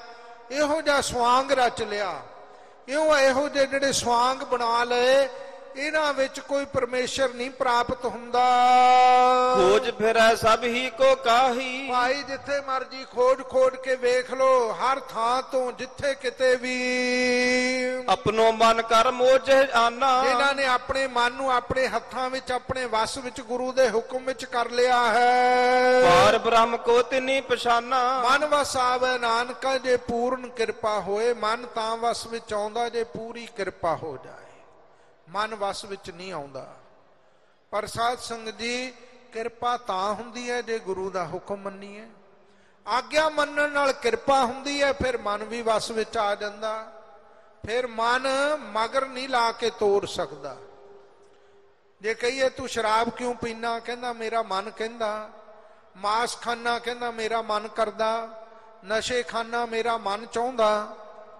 ਕੇਸ ਕਟਾਉਣਾ, ਅਜੇ ਮੈਂ ਕੇਸ ਨਹੀਂ ਰੱਖਣੇ, ਮੇਰਾ ਮਨ ਚਾਹੁੰਦਾ। ਮੈਂ ਮਨ ਦੇ ਅਨੁਸਾਰ, ਸਾਧ ਸੰਗਤ ਜੀ, ਸਿਆਣਿਆਂ ਦਾ ਕਥਾ ਕਥਨ ਹੈ, ਮਨ ਦੇ ਮਗਰ ਨਾ ਚੱਲੀਏ, ਮਨ ਦੇ ਮਤੇ ਅਨੇਕ। ਕਾਜੀ ਮੁੱਲਾ ਮਰ ਗਏ। ਜਿੰਨੇ ਵੀ ਇਹ ਸੰਸਾਰ ਦੇ ਉੱਤੇ ਵੱਡੇ ਤੋਂ ਵੱਡੇ ਜੋ ਵੀ ਹੋਏ ਆ, ਜਿਨ੍ਹਾਂ ਨੇ ਮਨ ਦੇ ਹੱਥ ਆਪਣਾ ਮਨ, ਆਪਣੀ ਕਿਰਿਆ ਕਹਿ ਲੋ ਆਪਣਾ ਜੀਵਨ ਦੇ ਦਿੱਤਾ, ਉਹ ਮਨੁੱਖਾ ਜੀਵਨ ਨੂੰ ਗਵਾ ਕੇ ਤੁਰ ਗਏ। ਭਾਈ, ਮਨ ਦੇ ਆਖੇ ਨਹੀਂ ਲੱਗਣਾ, ਗੁਰੂ ਦੇ ਆਖੇ ਲੱਗਣਾ। ਮਨ ਕੀ ਮਤ ਤਿਆਗੋ ਹਰਜਨ। ਮਨ ਦੀ ਮਤ ਨੂੰ ਹੈ ਪਿਆਰਿਆ, ਤਿਆਗ ਦੇ, ਇਸ ਨੂੰ ਦੂਰ ਕਰ ਦੇ। ਇਸ ਕਰਕੇ ਮਹਾਰਾਜ ਕਹਿੰਦੇ ਭਾਈ ਆਪਣੇ ਮਨ ਨੂੰ ਗੁਰੂ ਦੇ ਹੁਕਮ ਵਿੱਚ ਆਪਣੇ ਮਨ ਨੂੰ ਗੁਰੂ ਦੇ ਹੁਕਮ ਰੂਪ ਹੱਥਾਂ ਵਿੱਚ ਲੈ ਕੇ ਆਉਣਾ। ਜਿਨ੍ਹਾਂ ਨੇ ਲਿਆਂਦਾ ਹੈ ਪਾਰ ਬ੍ਰਹਮ ਕੋ ਤਿਨੀ ਪਛਾਨਾ। ਵਾਹਿਗੁਰੂ ਪਰਮੇਸ਼ਰ ਜੋ ਵਿਆਪਕ ਹੈ ਪਾਪਾ ਪੁੰਨਾ ਤੋਂ ਪਰੇ ਹੈ ਉਸ ਦੀ ਪਹਿਚਾਨ ਉਸ ਦੀ ਗਿਆਤ ਤਿਨਾਂ ਨੂੰ ਪ੍ਰਾਪਤ ਹੋਈ ਹੈ ਦੋਹਰਾ ਭੇਖ ਦਿਖਾਏ ਜਗਤ ਕੋ। ਜਿਨ੍ਹਾਂ ਨੇ ਲਿਬਾਸ ਬਣਾ ਬਣਾ ਕੇ ਦੁਨੀਆ ਨੂੰ ਦਿਖਾਇਆ ਪੂਜਾ ਦੀ ਖਾਤਰ। ਲੋਗਨ ਕੋ ਬਸ ਕੀਨ। ਲੋਕਾਂ ਨੂੰ ਵੀ ਵਸ ਵਿੱਚ ਕਰ ਲਿਆ ਅਧੀਨ ਕਰ ਲਿਆ ਮਗਰ ਲਾ ਲਿਆ। ਅੰਤ ਕਾਲ ਕਾਤੀ ਕਟਿਓ। ਅੰਤ ਦੇ ਸਮੇਂ ਜੋ ਜਦੋਂ ਕਾਲ ਦੀ ਤਲਵਾਰ ਉਹਨਾਂ ਨੂੰ ਕੱਟ ਦੇਗੀ ਸਰੀਰ ਨਾਲੋਂ ਵੱਖ ਕਰ ਦੇਗੀ ਬਾਸ ਨਰਕ ਮੋਲੀਨ ਫਿਰ ਕੀ ਹੋਏਗਾ? ਜੀਵ ਆਤਮਾ ਨੂੰ ਵਾਸਾ ਨਰਕਾਂ ਵਿੱਚ ਲੈਣਾ ਪਵੇਗਾ ਨਰਕਾਂ ਵਿੱਚ ਜਾ ਕੇ ਪਵੇਗਾ। ਪਖੰਡ ਕਰਨਾ ਬੜਾ ਸੌਖਾ ਪਰ ਪਖੰਡ ਦਾ ਫਲ ਭੋਗਣਾ ਜਦੋਂ ਪੈਂਦਾ ਉਦੋਂ ਪਤਾ ਲੱਗਦਾ ਹੈ। ਚੌਪਈ ਜੇ ਜੇ ਜਗ ਕੋ ਡਿੰਬ ਦਿਖਾਵੇ। ਜਿਹੜੇ ਭਾਈ ਜਗਤ ਨੂੰ ਪਖੰਡ ਕਰਕੇ ਦਿਖਾਉਂਦੇ ਆ। ਲੋਗਨ ਮੁੰਡ ਅਦਕ ਸੁਖ ਪਾਵੇ। ਭੋਲੇ ਲੋਕਾਂ ਨੂੰ ਮੁੰਨ ਕੇ ਭਾਵ ਆਪਣੇ ਅਧੀਨ ਮਗਰ ਲਾ ਕੇ ਲੋਕਾਂ ਦਾ ਧਨ ਮਾਲ ਦੌਲਤ ਲੁੱਟਦੇ ਆ ਤੇ ਬਹੁਤੇ ਸੁਖ ਪਾਉਂਦੇ ਆ ਕਿ ਅਸੀਂ ਬੜੇ ਹੁਸ਼ਿਆਰ ਚਲਾਕ ਚਤਰ ਹੈ ਕਿ ਦੁਨੀਆ ਨੂੰ ਦਿਨ ਦਿਹਾੜੇ ਅਸੀਂ ਲੁੱਟ ਲਿਆ। ਕਿਸੇ ਨੂੰ ਪਤਾ ਹੀ ਨਹੀਂ ਲੱਗਣ ਦਿੱਤਾ। ਨਾਸਾ ਮੂੰਦ ਕਰੈ ਪ੍ਰਣਾਮ ਨਾਸਾਂ ਬੰਦ ਕਰਕੇ ਨਮਸਕਾਰਾਂ ਕਰਨੀਆਂ ਇਹੋ ਜਿਹਾ ਦਿਖਾਵਾ ਕਰਨਾ। ਕਿ ਪ੍ਰਾਣਾ ਨੂੰ ਅਸੀਂ ਵਸ ਵਿੱਚ ਕੀਤਾ ਹੋਇਆ ਹੈ। ਫੋਕਟ ਧਰਮ ਨ ਕੌਡੀ ਕਾਮ। ਇਹ ਦਿਖਾਵੇ ਦੇ ਧਰਮ ਹੈ। ਮਹਾਰਾਜ ਕਹਿੰਦੇ ਕੌਡੀ ਜਿੰਨੀ ਵੀ ਇਹਨਾਂ ਦੀ ਕੀਮਤ ਨਹੀਂ ਕੌਡੀ ਜਿੰਨਾ ਵੀ ਇਹਨਾਂ ਦਾ ਕੰਮ ਨਹੀਂ ਆਉਣਾ ਇਹਨਾਂ ਨੇ। ਫੋਕਟ ਧਰਮ ਜਿਤੇ ਜਗ ਕਰਹੀ। ਜਿੰਨੇ ਦਿਖਾਵੇ ਦੇ ਧਰਮ ਦਿਖਾਵੇ ਦੇ ਧਰਮੀਆਂ ਵਾਲੇ ਲਿਬਾਸ ਪਾ ਕੇ ਦੁਨੀਆ ਕਰਦੀ ਹੈ ਨਰਕ ਕੁੰਡ ਭੀਤਰ ਤੇ ਪਰਹੀ। ਨਰਕਾਂ ਦੇ ਕੁੰਡ ਵਿੱਚ ਜਾ ਕੇ ਪੈਂਦੇ ਆ ਉਹ ਲੋਕ ਸੜਦੇ ਆ ਨਰਕਾਂ ਦੀ ਅਗਨੀ ਵਿੱਚ। ਹਾਥ ਹਲਾਏ ਸੁਰਗ ਨਾ ਜਾਹੂ। ਕਹਿੰਦੇ ਹੱਥਾਂ ਦੇ ਵਿੱਚ ਲੈ ਕੇ ਨਾ ਨਰਕ ਧਾਰੀਏ। ਖੱਬਾ ਹੱਥ ਤੇ ਥੱਲੇ ਤੇ ਸੱਜਾ ਉੱਤੇ। ਕਹਿੰਦੇ ਵਿੱਚ ਦੇਖ, ਅਸੀਂ ਤੈਨੂੰ ਪ੍ਰਮਾਤਮਾ ਦਿਖਾ ਦਿੰਨੇ ਆ ਰੱਬ ਦਿਖਾ ਦੇਈਦਾ। ਸਾਨੂੰ ਦਿਖਾਉਣਾ ਕੋਈ ਔਖਾ ਨਹੀਂ। ਇਹੋ ਜਿਹੇ ਹੱਥ ਹਿਲਾ ਕੇ ਦੁਨੀਆ ਨੂੰ, ਪਖੰਡ ਦੇ ਧਰਮ ਕਰਕੇ ਦੁਨੀਆ ਨੂੰ ਮਗਰ ਲਾਉਣ ਵਾਲੇ, ਤੇ ਅਸੀਂ ਰੱਬ ਨੂੰ ਤਾਂ ਚੁਟਕੀ ਵਿੱਚ ਹੀ ਸਾਹਮਣੇ ਦਿਖਾ ਦਿੰਨੇ ਆ ਇਹੋ ਜਿਹੇ ਜਿਹੜੇ ਲੋਕ ਆ, ਇਸ ਤਰ੍ਹਾਂ ਹੱਥ ਹਿਲਾ ਕੇ ਦਿਖਾਉਣ ਵਾਲੇ। ਜਾਂ ਹੱਥ ਹਿਲਾ ਕੇ ਕਹਿਣਾ, ਸਾਡਾ ਬਚਨ ਹੈ, ਚੁਟਕੀ ਵਿੱਚ ਹੀ ਅਸੀਂ ਤੈਨੂੰ ਸਵਰਗ ਭੇਜ ਦੇਾਂਗੇ ਇਉਂ ਕਹਿੰਦੇ ਸਵਰਗਾਂ ਵਿੱਚ ਨਹੀਂ ਸੱਚਖੰਡ ਵਿੱਚ ਨਹੀਂ ਜਾਇਆ ਜਾਂਦਾ? ਜੋ ਮਨ ਜੀਤ ਸਕਾ ਨਹੀਂ ਕਾਹੂ। ਜਿਹਨੇ ਮਨ ਦੀਆਂ ਬੁਰਾਈਆਂ ਨੂੰ ਨਹੀਂ ਨਾ ਜਿੱਤਿਆ ਵਾਸ਼ਨਾਵਾਂ ਨੂੰ ਨਹੀਂ ਮਾਰਿਆ ਜੱਗ ਵਿੱਚ। ਕਬ ਬਾਚ ਦੋਹਰਾ। ਉਹ ਬਾਈ ਸੱਚਖੰਡ ਵਿੱਚ ਨਹੀਂ ਜਾ ਸਕੇਗਾ। ਪਾਪਾਂ ਤੋਂ ਜਿਹਨੇ ਮੁਕਤੀ ਨਹੀਂ ਪ੍ਰਾਪਤ ਕੀਤੀ। ਜੰਤ ਵਾਸ਼ਨਾ ਵਿਆਗਰੀ ਸਰਬ ਖਾਏ ਯਕ ਸੰਤ ਬਾਚੇ ਜਿਨ੍ਹਾਂ ਸੱਚ ਹੀਤੇ। ਵਾਸ਼ਨਾ ਰੂਪ ਗਿਹਾੜੀ ਨੇ ਦੁਨੀਆ ਖਾ ਲਈ। ਇੱਕ ਪ੍ਰਭੂ ਦੇ ਸੰਤ ਨਾਮ ਜਪਣ ਵਾਲੇ ਬਚੇ ਆ, ਜਿਨ੍ਹਾਂ ਦਾ ਵਾਹਿਗੁਰੂ ਦੇ ਨਾਮ ਨਾਲ ਹੀ ਹਿੱਤ ਹੈ। ਇਉਂ ਭਾਈ ਉਹਨਾਂ ਦੀ ਰੱਖਿਆ ਮਹਾਰਾਜ ਕਰਦੇ ਆ। ਹੁਣ ਅੱਗੇ ਕਬ ਇਹ ਧੰਨ ਗੁਰੂ ਗੋਬਿੰਦ ਸਿੰਘ ਸਾਹਿਬ ਜੀ ਪਿੱਛੇ ਅਕਾਲ ਪੁਰਖ ਜੀ ਨਾਲ ਬਚਨ ਬਲਾਸ ਹੋਏ ਆ।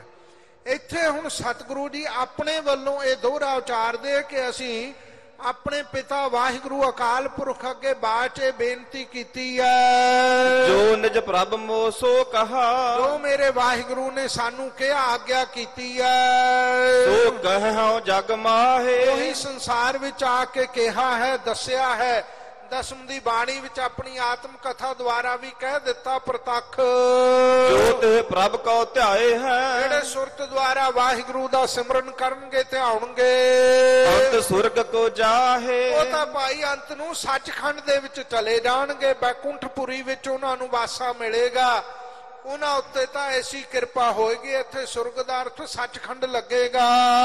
ਦੋਹਰਾ ਹਰ ਹਰ ਜਨ ਦੁਈ ਏਕ ਹੈ। ਨਾਮ ਜਪਣ ਵਾਲੇ ਪਰਮੇਸ਼ਰ ਦਾ ਨਾਮ ਧਿਆਉਣ ਵਾਲਿਆਂ ਦੀ ਅਵਸਥਾ ਹਰੀ ਦਾ ਜਨ ਤੇ ਹਰੀ ਪਰਮੇਸ਼ਰ ਦੋਨੋਂ ਇੱਕ ਰੂਪ ਹੁੰਦੇ ਆ। ਹਰ ਕਾ ਸੇਵਕ ਸੋ ਹਰ ਜੇਹਾ।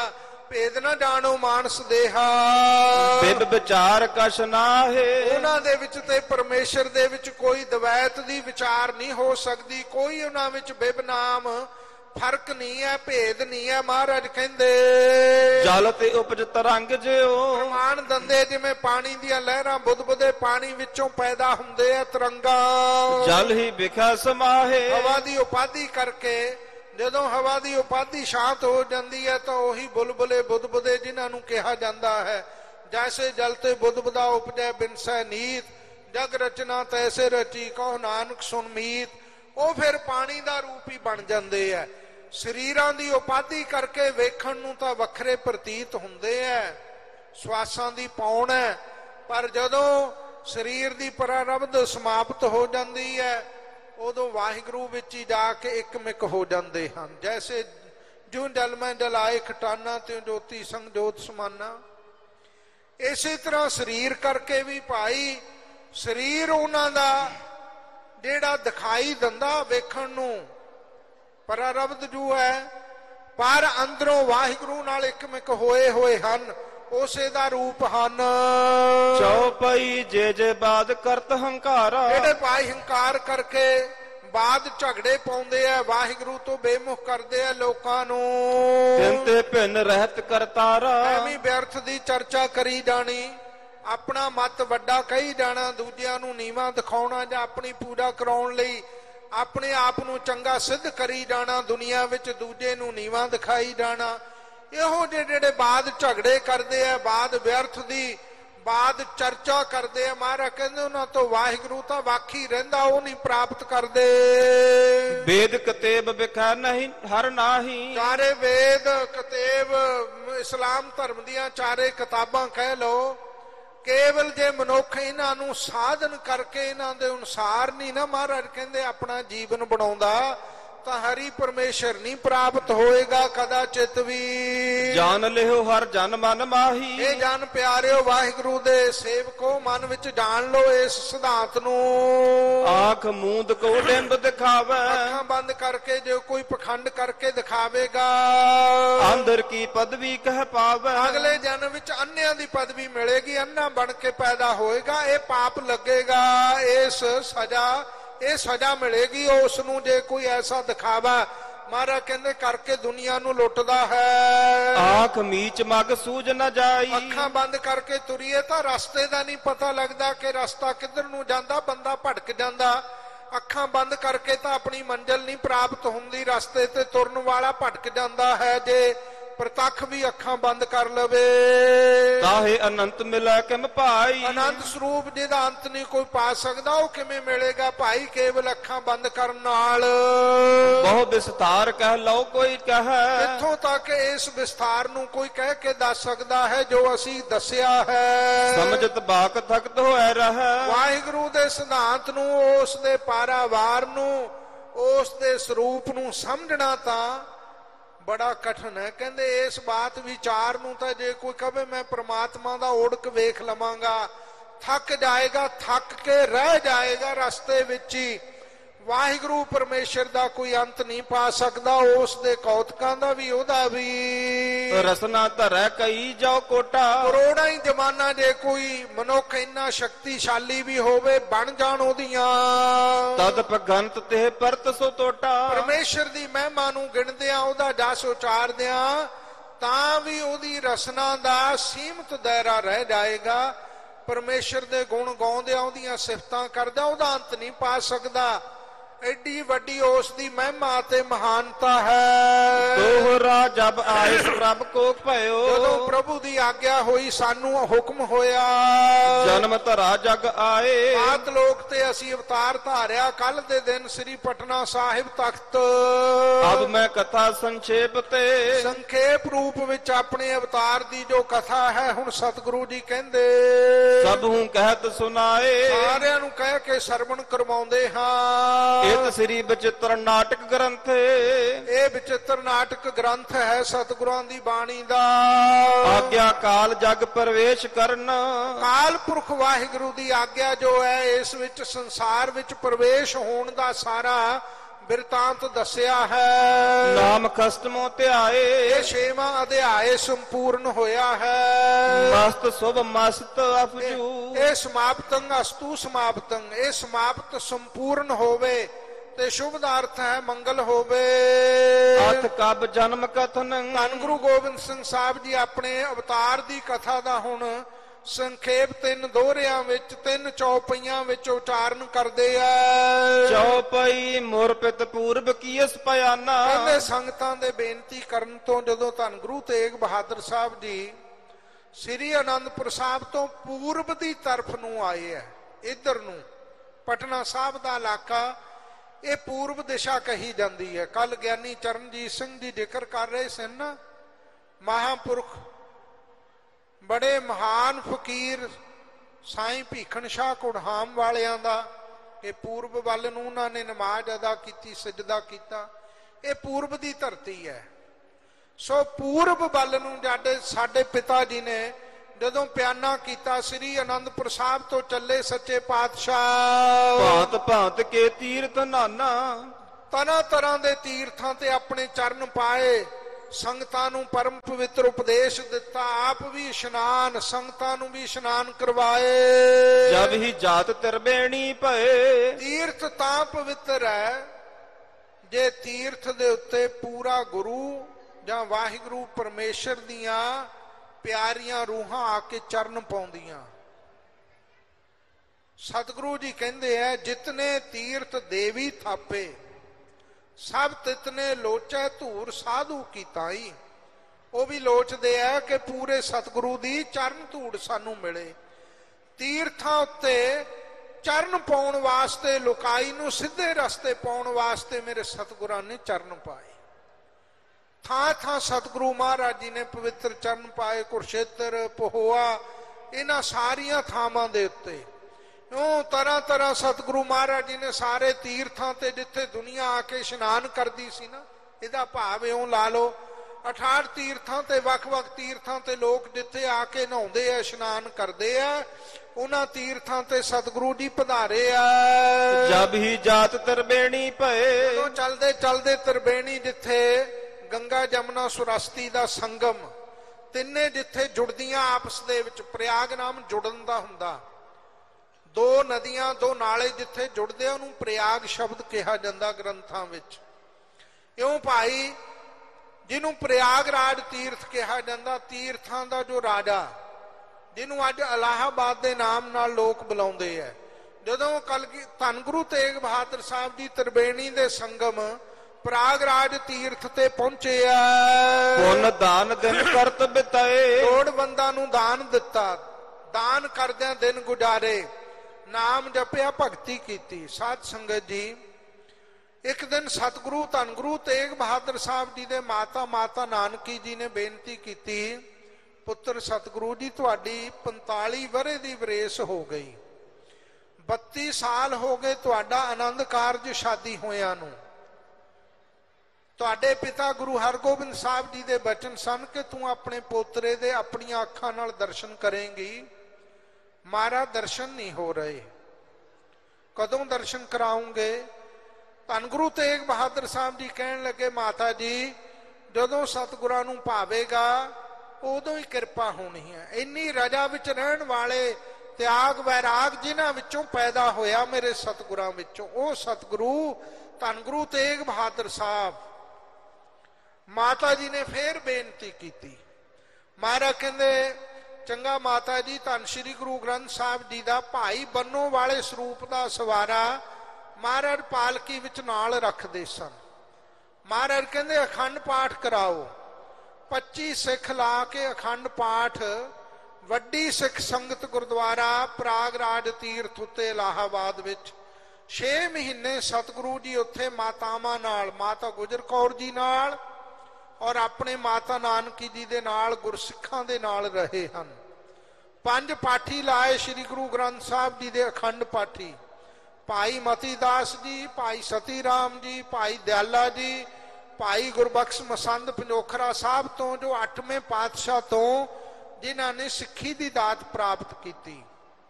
ਔਰ ਭਾਈ ਗੁਰਦਿੱਤਾ ਜੀ, ਬਾਬਾ ਬੁੱਢਾ ਜੀ ਦੀ 6ਵੀਂ ਬੱਸ ਵਿੱਚੋਂ 6ਵੀਂ ਥਾਂ ਤੇ ਔਰ ਭਾਈ ਸਤੀ ਰਾਮ ਜੀ ਵੀ 8ਵੇਂ ਪਾਤਸ਼ਾਹ ਜੀ ਦੇ ਸਿੱਖ ਸਨ। ਪੰਜ ਸਿੱਖਾਂ ਨੂੰ ਲਾ ਕੇ ਪੰਜ ਜਪਜੀ ਸਾਹਿਬ, ਪੰਜ ਧੂਪ ਵਾਲੇ ਜਿਨ੍ਹਾਂ ਨੂੰ ਮੂਲ ਮੰਤਰ ਦਾ ਜਪ ਨਾਲ ਕਰਨ ਦੀ ਆਗਿਆ, ਪੰਜ ਪਹਿਰੇਦਾਰ ਵਾਹਿਗੁਰੂ ਮੰਤਰ ਦਾ ਜਾਪ ਕਰਨ ਵਾਲੇ, ਨਿਗਰਾਨੀ ਰੱਖਣ ਵਾਲੇ, ਪੰਜ ਲਾਂਗਰੀ ਸਿੱਖ 25 ਸਿੱਖਾਂ ਨੂੰ ਲਾ ਕੇ ਪੂਰੀ ਮਰਜ਼ਾਦਾ ਅਨੁਸਾਰ ਅਖੰਡ ਪਾਠ ਸਾਹਿਬ ਕਰਵਾਇਆ। ਸਾਰਾ ਅਖੰਡ ਪਾਠ ਇੱਕ ਚੌਂਕੜੇ ਬੈਠ ਕੇ ਧੰਨ ਗੁਰੂ ਤੇਗ ਬਹਾਦਰ ਸਾਹਿਬ ਜੀ ਨੇ ਤੇ ਮਾਤਾਵਾਂ ਨੇ ਆਪ ਸਰਵਣ ਕੀਤਾ। ਸੰਪੂਰਨਤਾ ਹੋਈ, ਭੋਗ ਪਾਏ ਗਏ। ਲੰਗਰ ਵਰਤਾਇਆ, ਲੋੜਵੰਦਾਂ ਨੂੰ ਦਾਨ ਦਿੱਤਾ। ਇਹ ਪੁੰਨ ਦਾ ਕਰਮ ਕੀਤਾ ਸਤਿਗੁਰੂ ਜੀ ਨੇ। ਪਹਿਲਾ ਅਖੰਡ ਪਾਠ ਸਾਹਿਬ ਪ੍ਰਯਾਗਰਾਜ ਇਲਾਹਾਬਾਦ ਦੀ ਧਰਤੀ ਤੇ ਗੁਰਦੁਆਰਾ ਵੱਡੀ ਸਿੱਖ ਸੰਗਤ ਸਾਹਿਬ ਵਿਖੇ ਸਤਿਗੁਰੂ ਜੀ ਨੇ ਕਰਵਾਇਆ ਹੈ। ਤਹੀਂ ਪ੍ਰਕਾਸ਼ ਹਮਾਰਾ ਭਇਓ। ਉੱਥੇ ਮਾਤਾ ਗੁਜਰ ਕੌਰ ਜੀ ਦੀ ਕੁੱਖ ਵਿੱਚ ਸਾਡਾ ਪ੍ਰਕਾਸ਼ ਹੋਇਆ ਅਸੀਂ ਪ੍ਰਗਟ ਹੋਏ ਆਏ ਉੱਥੇ ਮਾਤ ਲੋਕ ਤੇ। ਪਟਨਾ ਸ਼ਹਿਰ ਵਿਖੇ ਭਵ ਲਿਓ 1723 ਬਿਕਰਮੀ ਸੰਮਤ 1665 ਵੀ ਜਾਂ 1666 ਜੂਲੀਅਨ ਕੈਲੰਡਰ ਮੁਤਾਬਕ 1667 ਗੈਗੋਰੀਅਨ ਕੈਲੰਡਰ ਮੁਤਾਬਕ ਦਿਨ ਐਤਵਾਰ ਪੋਹ ਦੀ ਸਤਮੀ ਨੂੰ ਪਟਨਾ ਸ਼ਹਿਰ ਜੋ ਹੈ, ਬੜਾ ਪ੍ਰਸਿੱਧ ਸੰਸਾਰ ਵਿੱਚ, ਜਿਹੜਾ ਸਾਹਮਣੇ ਤੱਕ ਸਾਹਿਬ ਜੀ ਦੇ ਦਰਸ਼ਨ ਹੋ ਰਹੇ ਆ, ਜਿੱਥੇ ਮੁੱਖ ਰੂਪ ਵਿੱਚ ਧੰਨ ਸ਼੍ਰੀ ਗੁਰੂ ਗ੍ਰੰਥ ਸਾਹਿਬ ਜੀ ਦਾ, ਸੱਚੇ ਪਾਤਸ਼ਾਹ ਜੀ ਦਾ ਪ੍ਰਕਾਸ਼ ਹੈ। ਅੱਗੇ ਆਦ ਸਰੂਪ ਅਤੇ ਦਸਮ ਦੇ ਸਰੂਪ ਪ੍ਰਕਾਸ਼ ਹਨ। ਇਸ ਸਥਾਨ ਤੇ ਸਤਿਗੁਰੂ ਜੀ ਨੇ ਭਵ ਨਾਮ ਅਵਤਾਰ ਲੈਣਾ ਕੀਤਾ। ਪਟਨਾ ਸ਼ਹਿਰ ਦੇ ਵਿੱਚ ਤਖਤ ਸ੍ਰੀ ਹਰਮੰਦਰ ਜੀ ਪਟਨਾ ਸਾਹਿਬ ਵਿਖੇ ਅਵਤਾਰ ਹੋਇਆ ਕੱਲ ਦੇ ਦਿਹਾੜਿਆਂ ਤੇ ਮੇਰੇ ਸਤਿਗੁਰਾਂ ਦਾ। ਮਦਰ ਦੇਸ ਹਮਕੋ ਲੈ ਆਏ। ਅਵਤਾਰ ਤੋਂ ਬਾਅਦ ਜਦੋਂ 7-8 ਵਰੇ ਦੀ ਸਾਲ ਦੀ ਉਮਰ ਹੋਈ ਮਦਰ ਨਾਮ ਸਾਧ ਸੰਗਤ ਜੀ ਪੰਜਾਬ ਦਾ ਹੈ। ਪੰਜਾਬ ਦੀ ਧਰਤੀ ਤੇ ਮਾਮਾ ਕਿਰਪਾਲ ਚੰਦ ਜੀ ਸਾਨੂੰ ਮਾਤਾ ਗੁਜਰ ਕੌਰ ਜੀ ਦੇ ਸਮੇਤ ਸਾਰਾ ਪਰਿਵਾਰ ਪਿਤਾ ਸਤਿਗੁਰਾਂ ਦੇ ਪਾਸ ਲੈ ਕੇ ਆਏ। ਆਨੰਦਪੁਰ ਸਾਹਿਬ ਵਿਖੇ। ਭਾਂਤ ਭਾਂਤ ਦਾਈਨ ਦੁਲਰਾਏ ਬਾਲ ਅਵਸਥਾ ਵਿੱਚ ਦਾਈ ਮਾਤਾਵਾਂ ਨੇ ਬੜੇ ਦੁਲਾਰ ਪਿਆਰ ਸਾਨੂੰ ਦੇਣਾ ਕੀਤੇ ਬਹੁਤ ਤਰ੍ਹਾਂ ਦੇ। ਇਨੀ ਅਨਕ ਭਾਂਤ ਤਨ ਰਛਾ। ਬਾਲਕ ਅਵਸਥਾ ਵਿੱਚ ਸਾਡੇ ਸਰੀਰ ਦੀ ਹਰ ਤਰ੍ਹਾਂ ਕਰਕੇ ਰੱਖਿਆ ਕੀਤੀ ਹਰ ਤਰ੍ਹਾਂ ਦੀ ਸੰਭਾਲ ਕੀਤੀ ਹੈ। ਦੀਨੀ ਭਾਂਤ ਭਾਂਤ ਕੀ ਸਿੱਖਿਆ ਇਸੇ ਤਰ੍ਹਾਂ ਗੁਰਮਤ ਦੀ ਦੁਨੀਆ ਦੀਆਂ ਵਿਦਿਆਵਾਂ ਦੇ ਗਿਆਨ ਦੀ ਸਿੱਖਿਆ ਵੀ ਵਿਦਵਾਨਾਂ ਦੁਆਰਾ ਤਰ੍ਹਾਂ ਤਰ੍ਹਾਂ ਕਰਕੇ ਦਿਵਾਉਣਾ ਕੀਤੀ ਹੈ। ਔਰ ਆਪ ਧੰਨ ਗੁਰੂ ਤੇਗ ਬਹਾਦਰ ਸਾਹਿਬ ਜੀ ਅਤੇ ਮਾਤਾਵਾਂ ਨੇ ਗੁਰਮਤ ਦੀ ਸਿੱਖਿਆ ਦਾ ਗਿਆਨ ਵੀ ਕਰਵਾਇਆ ਪੂਰਾ ਹਰ ਤਰ੍ਹਾਂ ਕਰਕੇ। ਜਬ ਹਮ ਧਰਮ ਕਰਮ ਮੋ ਆਏ। ਜਦੋਂ ਅਸੀਂ 9 ਸਾਲ ਦੀ ਉਮਰ ਦੇ ਵਿੱਚ ਧਰਮ ਦੇ ਕਾਰਜਾਂ ਵਿੱਚ ਆ ਕੇ ਪ੍ਰਵਿਰਤ ਹੋਏ ਗੁਰਤਾ ਗੱਦੀ ਦੇ ਤਖਤ ਉੱਤੇ ਬੈਠਣ ਦੀ ਆਗਿਆ ਹੋਈ। ਦੇਵ ਲੋਕ ਤਬ ਪਿਤਾ ਸਿਧਾਏ। ਹਿੰਦੂ ਧਰਮ ਦੀ ਰੱਖਿਆ ਵਾਸਤੇ ਧੰਨ ਗੁਰੂ ਤੇਗ ਬਹਾਦਰ ਸਾਹਿਬ ਜੀ ਦਿੱਲੀ ਵਿਖੇ ਚਾਂਦਨੀ ਚੌਂਕ ਦੀ ਧਰਤੀ ਤੇ 1732 ਬਿਕਰਮੀ ਨੂੰ ਧੰਨ ਗੁਰੂ ਤੇਗ ਬਹਾਦਰ ਸਾਹਿਬ ਜੀ ਨੇ ਮਹਾਨ ਸ਼ਹਾਦਤ ਦੇ ਦਿੱਤੀ। ਸੀਸਗੰਜ ਸਾਹਿਬ ਦਿੱਲੀ ਵਿਖੇ। ਤਿਲਕ ਜੰਨੂ ਰਾਖਾ ਪ੍ਰਵਤਾਕਾ ਕੀਨੋ ਵੱਡੋ ਕਲੂ ਮੈਂ ਸਾਕਾ ਸਾਧਨ ਹੇਤ ਇਤੀ ਜਿਨ ਕਰੀ ਸੀਸ ਦਿਆ ਪਰ ਸੀ ਨਾ ਉਚਰੀ। ਠੀਕਰ ਫੋਰ ਦਲੀਸ, ਸਿਰ ਪ੍ਰਭ ਰੁਕੀਆ ਪਿਆਨ, ਤੇਗ ਬਹਾਦਰ ਸੀ ਕਿਰਿਆ ਕਰੀ ਨਾ ਕਿਨਹੂ ਆਨ। ਐਸੇ ਗੁਰੂ ਤੇਗ ਬਹਾਦਰ ਸਾਹਿਬ ਜੀ ਸੱਚੇ ਪਾਤਸ਼ਾਹ ਧਰਮ ਦੀ ਖਾਤਰ ਆਪਣੀ ਸ਼ਹਾਦਤ, ਆਪਣੀ ਕੁਰਬਾਨੀ ਦੇ ਕੇ ਸੱਚਖੰਡ ਨੂੰ ਚਲੇ ਗਏ। ਇੱਥੋਂ ਤੱਕ ਸਤਿਗੁਰੂ ਜੀ ਦੇ ਇਹ ਪਾਵਨ ਪਵਿੱਤਰ ਅਵਤਾਰ ਦੀ ਕਥਾ ਸੰਪੂਰਨ ਹੋਈ ਹੈ। ਇਤ ਸ੍ਰੀ ਬਚਿੱਤਰ ਨਾਟਕ ਗ੍ਰੰਥ। ਵਿਚਿੱਤਰ ਨਾਟਕ ਇੱਕ ਹਿੱਸਾ ਹੈ ਦਸਮ ਗ੍ਰੰਥ ਦਾ। ਇਸ ਵਿਚਿੱਤਰ ਨਾਟਕ ਗ੍ਰੰਥ ਅਧਿਆਇ ਇਤੀ ਹੋਇਆ ਪੂਰਾ ਹੋਇਆ ਸੰਪੂਰਨ। ਨਾਮ ਸਪਤਮੋ ਧਿਆਏ ਇਹ ਸਤਵਾਂ ਅਧਿਆਇ ਹੈ ਪ੍ਰਸੰਗ ਹੈ। ਸਮਾਪਤ ਮਸਤ ਸੁਭ ਮਸਤ। ਇਹ ਸੰਪੂਰਨ ਹੁੰਦਾ ਹੈ। ਮਸਤ ਤੋਂ ਭਾਵ ਅਸਤ ਭਾਵ ਸੰਪੂਰਨ ਹੋ ਰਿਹਾ ਹੈ। ਸ਼ੁਭ ਦਾ ਭਾਵ, ਇਸ ਕਥਾ ਨੂੰ ਸੁਣਨ ਵਾਲੇ, ਵਿਚਾਰਨ ਵਾਲੇ, ਉਹਨਾਂ ਨੂੰ ਭਾਈ ਕਲਿਆਣ ਦੀ ਦਾਤ ਪ੍ਰਾਪਤ ਹੋਵੇ। ਉਹਨਾਂ ਦਾ ਮੰਗਲ ਹੋਵੇ, ਉਹਨਾਂ ਨੂੰ ਖੁਸ਼ੀਆਂ ਮਿਲਣ, ਉਹਨਾਂ ਨੂੰ ਆਨੰਦ ਦੀ ਪ੍ਰਾਪਤੀ ਹੋਵੇ, ਇਸ ਕਥਾ ਦੇ ਵਿੱਚੋਂ। ਇਹ ਸਾਧ ਸੰਗਤ ਜੀ, ਇਸ ਤਰ੍ਹਾਂ ਇਹਦਾ ਸਮਾਪਤੰ ਅਸਤੂ ਸਮਾਪਤੰ। ਸਮਾਪਤ ਅਸਤ ਸੁਭਮ ਅਸਤ। ਇਸ ਤਰ੍ਹਾਂ ਪਦ ਬੰਦੀ ਨੂੰ ਜੋੜ ਕੇ ਇਸ ਤਰ੍ਹਾਂ ਇਸ ਦੇ ਅਰਥ ਬਣਦੇ ਹਨ। ਭਾਈ, ਇਹ ਗੁਰੂ ਕੀ ਮਹਾਨ ਆਤਮ ਕਥਾ ਮੇਰੇ ਸਤਿਗੁਰੂ ਦੀ, ਇਸ ਨੂੰ ਸੁਣ ਕੇ ਸਾਰੀਆਂ ਖੁਸ਼ੀਆਂ ਵੀ, ਸਾਰੇ ਆਨੰਦ ਵੀ ਔਰ ਕਲਿਆਣ ਮੁਕਤੀ ਵੀ ਜੀਵਨ ਵਿੱਚ ਪ੍ਰਾਪਤ ਹੁੰਦੀ ਹੈ। ਸਮਾਂ ਅੱਗੇ ਜਾਣ ਦੀ ਆਗਿਆ ਨਹੀਂ ਦਿੰਦਾ। ਗੁਰ ਸੰਗਤ ਜੀ, ਤਖਤ ਸ੍ਰੀ ਹਰਮੰਦਰ ਜੀ, ਪਟਨਾ ਸਾਹਿਬ ਵਿਖੇ ਦਮਦਮੀ ਟਕਸਾਲ ਦੇ 12ਵੇਂ ਮੁਖੀ ਸੱਚਖੰਡ ਵਾਸੀ ਮਹਾਪੁਰਖ ਸੰਤ ਗਿਆਨੀ ਗੁਰਬਚਨ ਸਿੰਘ ਜੀ ਖਾਲਸਾ ਪਿੰਡਰਾਂ ਵਾਲੇ ਹਰ ਸਾਲ ਇਸ ਗੁਰਪੁਰਬ ਦੇ ਉੱਤੇ ਆ ਕੇ ਅਚੇਚਾ ਤੌਰ ਤੇ ਹਾਜ਼ਰੀਆਂ ਭਰਿਆ ਕਰਦੇ ਔਰ ਇਹ ਸਤਿਗੁਰੂ ਜੀ ਦੇ ਅਵਤਾਰ ਧਾਰਨ ਦੀ ਕਥਾ ਸੰਗਤਾਂ ਨੂੰ ਸੁਣਾਇਆ ਕਰਦੇ। ਔਰ ਇਸੇ ਤਰ੍ਹਾਂ 1967 ਵਿੱਚ ਜਦੋਂ 300 ਸਾਲਾ ਪਹਿਲਾ ਪ੍ਰਕਾਸ਼ ਗੁਰਪੁਰਬ 300 ਸਾਲਾ ਸਤਿਗੁਰਾਂ ਦੇ ਅਵਤਾਰ ਧਾਰਨ ਦੀ ਸ਼ਤਾਬਦੀ ਸਿੱਖ ਜਗਤ ਨੇ ਪਹਿਲੀ ਵਾਰ ਇੱਥੇ ਮਨਾਈ। ਉਦੋਂ ਮਹਾਪੁਰਖਾਂ ਨੇ ਬਹੁਤ ਵੱਡਾ ਯੋਗਦਾਨ ਪਾਇਆ ਸੀ, ਜਥੇਬੰਦੀ ਦਮਦਮੀ ਟਕਸਾਲ ਵੱਲੋਂ ਔਰ ਦਮਦਮੀ ਟਕਸਾਲ ਦੇ 13ਵੇਂ ਮੁਖੀ ਮਹਾਪੁਰਖ ਸੱਚਖੰਡ ਵਾਸੀ ਸੰਤ ਗਿਆਨੀ ਕਰਤਾਰ ਸਿੰਘ ਜੀ ਖਾਲਸਾ ਜੀ ਨੂੰ ਵੀ ਉਦੋਂ ਦਮਦਮੀ ਟਕਸਾਲ ਦੇ ਮੁਖੀ ਦਾ ਸਿਰੋਂ ਪਾਓ। ਇਹ ਬਖਸ਼ ਤਖਤ ਸਾਹਿਬ ਜੀ ਤੇ ਮਹਾਪੁਰਖ ਆਪਣੇ ਹਸਤ ਕਮਲਾਂ ਨਾਲ ਆਪ ਉਹਨਾਂ ਨੇ ਬਖਸ਼ਿਸ਼ ਕੀਤੀ, ਜਥੇਬੰਦੀ ਦਾ ਮੁਖੀ, ਇਸੇ ਤਖਤ ਸਾਹਿਬ ਸਤਿਗੁਰਾਂ ਦੀ ਹਜ਼ੂਰੀ ਵਿੱਚ ਥਾਪਿਆ ਸੀ। ਐਡੀ ਵੱਡੀ ਬਖਸ਼ਿਸ਼ ਮਹਾਪੁਰਖਾਂ ਨੇ ਕੀਤੀ ਔਰ ਸਤਪੁਰਸ਼ਾਂ ਤੇ ਇਹ ਬਖਸ਼ਿਸ਼ ਹੋਈ। ਉਹ ਮਹਾਪੁਰਖ ਵੀ ਹਰ ਸਾਲ ਹਾਜ਼ਰੀ ਭਰਦੇ ਰਹੇ, ਫਿਰ ਦਮਦਮੀ ਟਕਸਾਲ ਦੇ 14ਵੇਂ ਮੁਖੀ, ਅਮਰ ਸ਼ਹੀਦ ਪੰਥ ਰਤਨ ਮਹਾਪੁਰਖ ਸੰਤ ਗਿਆਨੀ ਜਰਨੈਲ ਸਿੰਘ ਜੀ ਖਾਲਸਾ ਪਿੰਡਰਾਂ ਵਾਲੇ ਵੀ, ਉਹ ਵੀ ਇਸ ਪਾਵਨ ਗੁਰਪੁਰਬਾਂ ਦੇ ਉੱਤੇ ਹਾਜ਼ਰੀਆਂ ਭਰਦੇ ਰਹੇ। ਉਹਨਾਂ ਦੀਆਂ ਕੈਸਟਾਂ ਵਿੱਚ ਵੀ ਇਹ ਕਥਾ ਇੱਥੋਂ ਦੀ ਭਰੀ ਹੋਈ ਸੰਗਤਾਂ ਸੁਣਦੀਆਂ ਹਨ। ਸੋ ਮਹਾਪੁਰਖ ਵੀ ਇਸ ਗੁਰਪੁਰਬ ਤੇ ਹਾਜ਼ਰੀਆਂ ਭਰਦੇ ਰਹੇ। ਦਮਦਮੀ ਟਕਸਾਲ ਦੇ 15ਵੇਂ ਮੁਖੀ ਵੈਰਾਗ ਤਿਆਗ ਦੀ ਮੂਰਤ ਮਹਾਪੁਰਖ ਸੰਤ ਬਾਬਾ ਠਾਕੁਰ ਸਿੰਘ ਜੀ ਖਾਲਸਾ ਜੀ ਵੀ ਇਹਨਾਂ ਗੁਰਪੁਰਬਾਂ ਤੇ ਹਾਜ਼ਰੀਆਂ ਭਰਦੇ ਰਹੇ ਹਨ। ਦਮਦਮੀ ਟਕਸਾਲ ਦਾ ਇਸ ਤਖਤ ਸਾਹਿਬ ਦੇ ਨਾਲ ਔਰ ਜੋ ਕਲਗੀਧਰ ਨੇ ਇੱਥੇ ਮਰਜ਼ਾਦਾ ਸਥਾਪਿਤ ਕੀਤੀ ਹੈ, ਉਹ ਸੀਨਾ ਮਸੀਨਾ ਦਮਦਮੀ ਟਕਸਾਲ ਜਥੇਬੰਦੀ ਨੇ ਉਸੇ ਤਰ੍ਹਾਂ ਸੰਭਾਲ ਕੇ ਪੰਥ ਵਿੱਚ ਅੱਗੇ ਜਾਰੀ ਰੱਖਿਆ ਹੋਇਆ ਹੈ। ਇਹ ਮਹਾਨ ਬਖਸ਼ਿਸ਼ਾਂ ਇੱਥੋਂ ਇਸ ਜਥੇਬੰਦੀ ਨੂੰ ਪ੍ਰਾਪਤ ਹੋਈਆਂ। ਉਸੇ ਪ੍ਰੇਮ ਨੂੰ ਮੁੱਖ ਰੱਖਦਿਆਂ ਆਪ ਸੰਗਤਾਂ ਦੇ ਦਰਸ਼ਨ ਹੋਏ। ਮੈਂ ਉਚੇਚੇ ਤੌਰ ਤੇ ਤਖਤ ਸ੍ਰੀ ਹਰਮੰਦਰ ਜੀ, ਪਟਨਾ ਸਾਹਿਬ ਜੀ ਦੇ ਜਥੇਦਾਰ, ਸਿੰਘ ਸਾਹਿਬ ਗਿਆਨੀ ਇਕਬਾਲ ਸਿੰਘ ਜੀ ਦਾ ਰੋਮ ਰੋਮ ਕਰਕੇ ਧੰਨਵਾਦ ਕਰਦਾ ਜਿਨ੍ਹਾਂ ਦੀ ਆਗਿਆ ਨਾਲ ਮੈਨੂੰ ਗੁਰਪੁਰਬਾਂ ਦੇ ਸਮਾਗਮਾਂ ਤੇ ਆਪ ਸੰਗਤ ਦੇ ਦਰਸ਼ਨ ਹੋ ਰਹੇ ਹਨ। ਇਸੇ ਹੀ ਤਰ੍ਹਾਂ ਤਖਤ ਸ੍ਰੀ ਸਾਹਿਬ, ਤਖਤ ਸ੍ਰੀ ਹਰਮੰਦਰ ਜੀ, ਪਟਨਾ ਸਾਹਿਬ ਜੀ ਦੀ ਕਮੇਟੀ ਦੇ ਪ੍ਰਧਾਨ ਜਥੇਦਾਰ ਸਰਦਾਰ ਅਵਤਾਰ ਸਿੰਘ ਜੀ ਹਿੱਤ, ਭਾਈ ਮਹਿੰਦਰ ਸਿੰਘ ਜੀ ਢਿੱਲੋਂ, ਜਿਨ੍ਹਾਂ ਵੀ ਸਾਰੇ ਮੈਂਬਰ ਸਹਿਬਾਨ ਹਨ, ਉਹਨਾਂ ਦਾ ਵੀ ਮੈਂ ਤਹਿ ਦਿਲੋਂ ਧੰਨਵਾਦ ਕਰਦਾ ਇਸ ਤੋਂ ਇਲਾਵਾ ਸਿੱਖ ਪੰਥ ਦੇ ਬੜੇ ਪ੍ਰਸਿੱਧ ਵਿਦਵਾਨ ਗਿਆਨੀ ਰਣਜੀਤ ਸਿੰਘ ਜੀ ਗੋਹਰੇ ਮਸਕੀਨ, ਜੋ ਆਪਣੀ ਮਿਸਾਲ ਆਪ ਹਨ, ਪਿਛਲੇ ਦਿਨਾਂ ਤੋਂ ਗੁਰਬਾਣੀ ਗੁਰ ਇਤਿਹਾਸ ਦੀ ਕਥਾ ਸੁਣਾ ਰਹੇ ਹੈ। ਹੁਣ ਵੀ ਉਹਨਾਂ ਨੇ ਤੁਹਾਡੇ ਦਰਸ਼ਨ ਕਰਨੇ ਆ ਤਖਤ ਸ੍ਰੀ ਕੇਸਗੜ੍ਹ ਸਾਹਿਬ ਜੀ ਦੇ ਪ੍ਰਸਿੱਧ ਕਥਾਵਾਚਕ ਗਿਆਨੀ ਚਰਨਜੀਤ ਸਿੰਘ ਜੀ ਇਸੇ ਤਰ੍ਹਾਂ ਦਮਦਮੀ ਟਕਸਾਲ ਵਿੱਚੋਂ ਮਹਾਨ ਵਿੱਦਿਆ ਪ੍ਰਾਪਤ ਕੀਤੀ ਹੈ, ਜਿਨ੍ਹਾਂ ਨੇ ਗਿਆਨੀ ਚਰਨਜੀਤ ਸਿੰਘ ਜੀ ਜੋ ਇੱਥੇ ਕਥਾ ਕਰਦੇ ਆ ਚੰਦਰਪੁਰ ਚਾਂਦੇ ਤੋਂ, ਮਹਾਂਪੁਰਖਾਂ ਨਾਲ ਬੜਾ ਲੰਮਾ ਸਮਾਂ ਰਹੇ ਹਨ। ਸੰਤ ਬਾਬਾ ਠਾਕੁਰ ਸਿੰਘ ਜੀ ਖਾਲਸਾ ਜੀ ਦੀ ਸੇਵਾ ਵਿੱਚ। ਇਸੇ ਤਰ੍ਹਾਂ ਸਿੰਘ ਸਾਹਿਬ ਗਿਆਨੀ ਬਲਦੇਵ ਸਿੰਘ ਜੀ, ਉਹ ਵੀ ਮਹਾਂਪੁਰਖ ਸੰਤ ਬਾਬਾ ਜਰਨੈਲ ਸਿੰਘ ਜੀ ਖਾਲਸਾ ਜੀ ਤੋਂ ਉਹਨਾਂ ਨੇ ਗੁਰਮਤਿ ਦੀ ਵਿੱਦਿਆ ਪੜ੍ਹੀ ਹੈ ਔਰ ਉਹਨਾਂ ਮਹਾਂਪੁਰਖਾਂ ਦੀ ਸੰਗਤ ਵਿੱਚ ਜਥੇ ਵਿੱਚ ਰਹੇ ਗਿਆਨੀ ਭਾਈ ਸੁਖਦੇਵ ਸਿੰਘ ਜੀ ਜੋ ਤਖਤ ਸਾਹਿਬ ਜੀ ਦੇ ਪੰਜ ਪਿਆਰਿਆਂ ਵਿੱਚੋਂ ਹਨ। ਉਹਨਾਂ ਨੇ ਸੰਤ ਬਾਬਾ ਕਰਤਾਰ ਸਿੰਘ ਜੀ ਖਾਲਸਾ ਜੀ ਦੇ ਗੜਵਾਈ ਰਹਿ ਕੇ ਸੇਵਾਵਾਂ ਨਿਭਾਈਆਂ। ਇਹ ਤਖਤ ਸਾਹਿਬ ਜੀ ਦੇ ਉੱਤੇ ਦਮਦਮੀ ਟਕਸਾਲ ਦੇ ਮਹਾਨ ਵਿਦਿਆਰਥੀਆਂ ਵਿੱਚੋਂ ਸਿੰਘ ਸਹਿਬਾਨਾਂ ਨੇ ਵਿੱਦਿਆ ਪ੍ਰਾਪਤ ਕੀਤੀ ਹੈ। ਇਸ ਜਥੇਬੰਦੀ ਨੂੰ ਸਤਿਗੁਰਾਂ ਨੇ ਬਖਸ਼ਿਸ਼ ਦੇ ਨਾਲ ਨਵਾਜਿਆ, ਜਿੰਨੇ ਵੀ ਤਖਤਾਂ ਦੇ ਅੱਜ ਵੀ ਜਥੇਦਾਰ ਹੈ।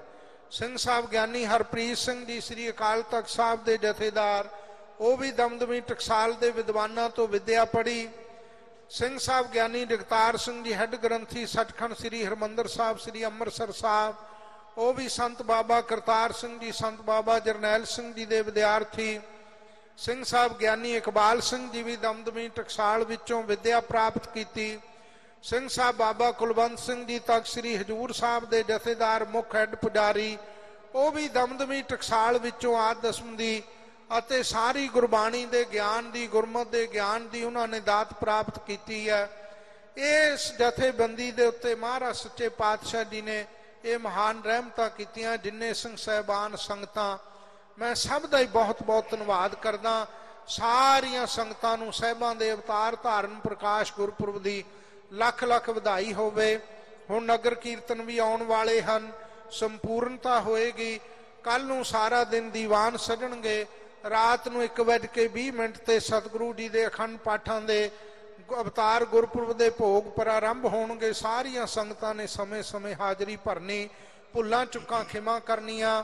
ਮੈਂ ਸੰਤ ਬਾਬਾ ਅਮੀਰ ਸਿੰਘ ਜੀ ਜਵੱਦੀ ਵਾਲੇ, ਸੰਤ ਬਾਬਾ ਪ੍ਰਦੀਪ ਸਿੰਘ ਜੀ ਬੋਰੇ ਵਾਲੇ, ਸੰਤ ਬਾਬਾ ਬਲਜਿੰਦਰ ਸਿੰਘ ਜੀ ਰਾੜਾ ਸਾਹਿਬ, ਸੰਤ ਬਾਬਾ ਗੁਰਚਰਨ ਸਿੰਘ ਜੀ ਠੱਟੇ ਵਾਲੇ, ਸਾਰੇ ਮਹਾਂਪੁਰਖ ਮਹੰਤ ਕਰਮਜੀਤ ਸਿੰਘ ਜੀ ਸੇਵਾ ਪੰਥੀ ਅੱਡਣ ਸ਼ਾਹੀ ਸਭਾ ਦੇ ਜੋ ਪ੍ਰਧਾਨ ਹੈ, ਉਹਨਾਂ ਦੀ ਵੀ ਬਹੁਤ ਵੱਡੀ ਸੇਵਾ ਮੈਂ ਸਭ ਦਾ ਹੀ ਬਹੁਤ ਬਹੁਤ ਧੰਨਵਾਦ, ਸਾਰੀਆਂ ਸੰਗਤਾਂ ਦਾ ਧੰਨਵਾਦ, ਭੁੱਲਾਂ ਚੁੱਕਾਂ ਖਿਮਾ ਕਰਨੀਆਂ, ਫਿਰ ਸਾਰੀ ਸੰਗਤ ਨੂੰ ਸਤਿਗੁਰਾਂ ਦੇ ਅਵਤਾਰ ਗੁਰਪੁਰਬ ਦੀ ਲੱਖ ਲੱਖ ਵਧਾਈ ਹੋਵੇ।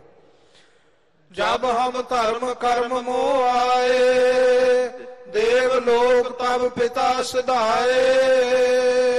ਵਾਹਿਗੁਰੂ ਜੀ ਕਾ ਖਾਲਸਾ, ਵਾਹਿਗੁਰੂ ਜੀ ਕੀ ਫਤਿਹ।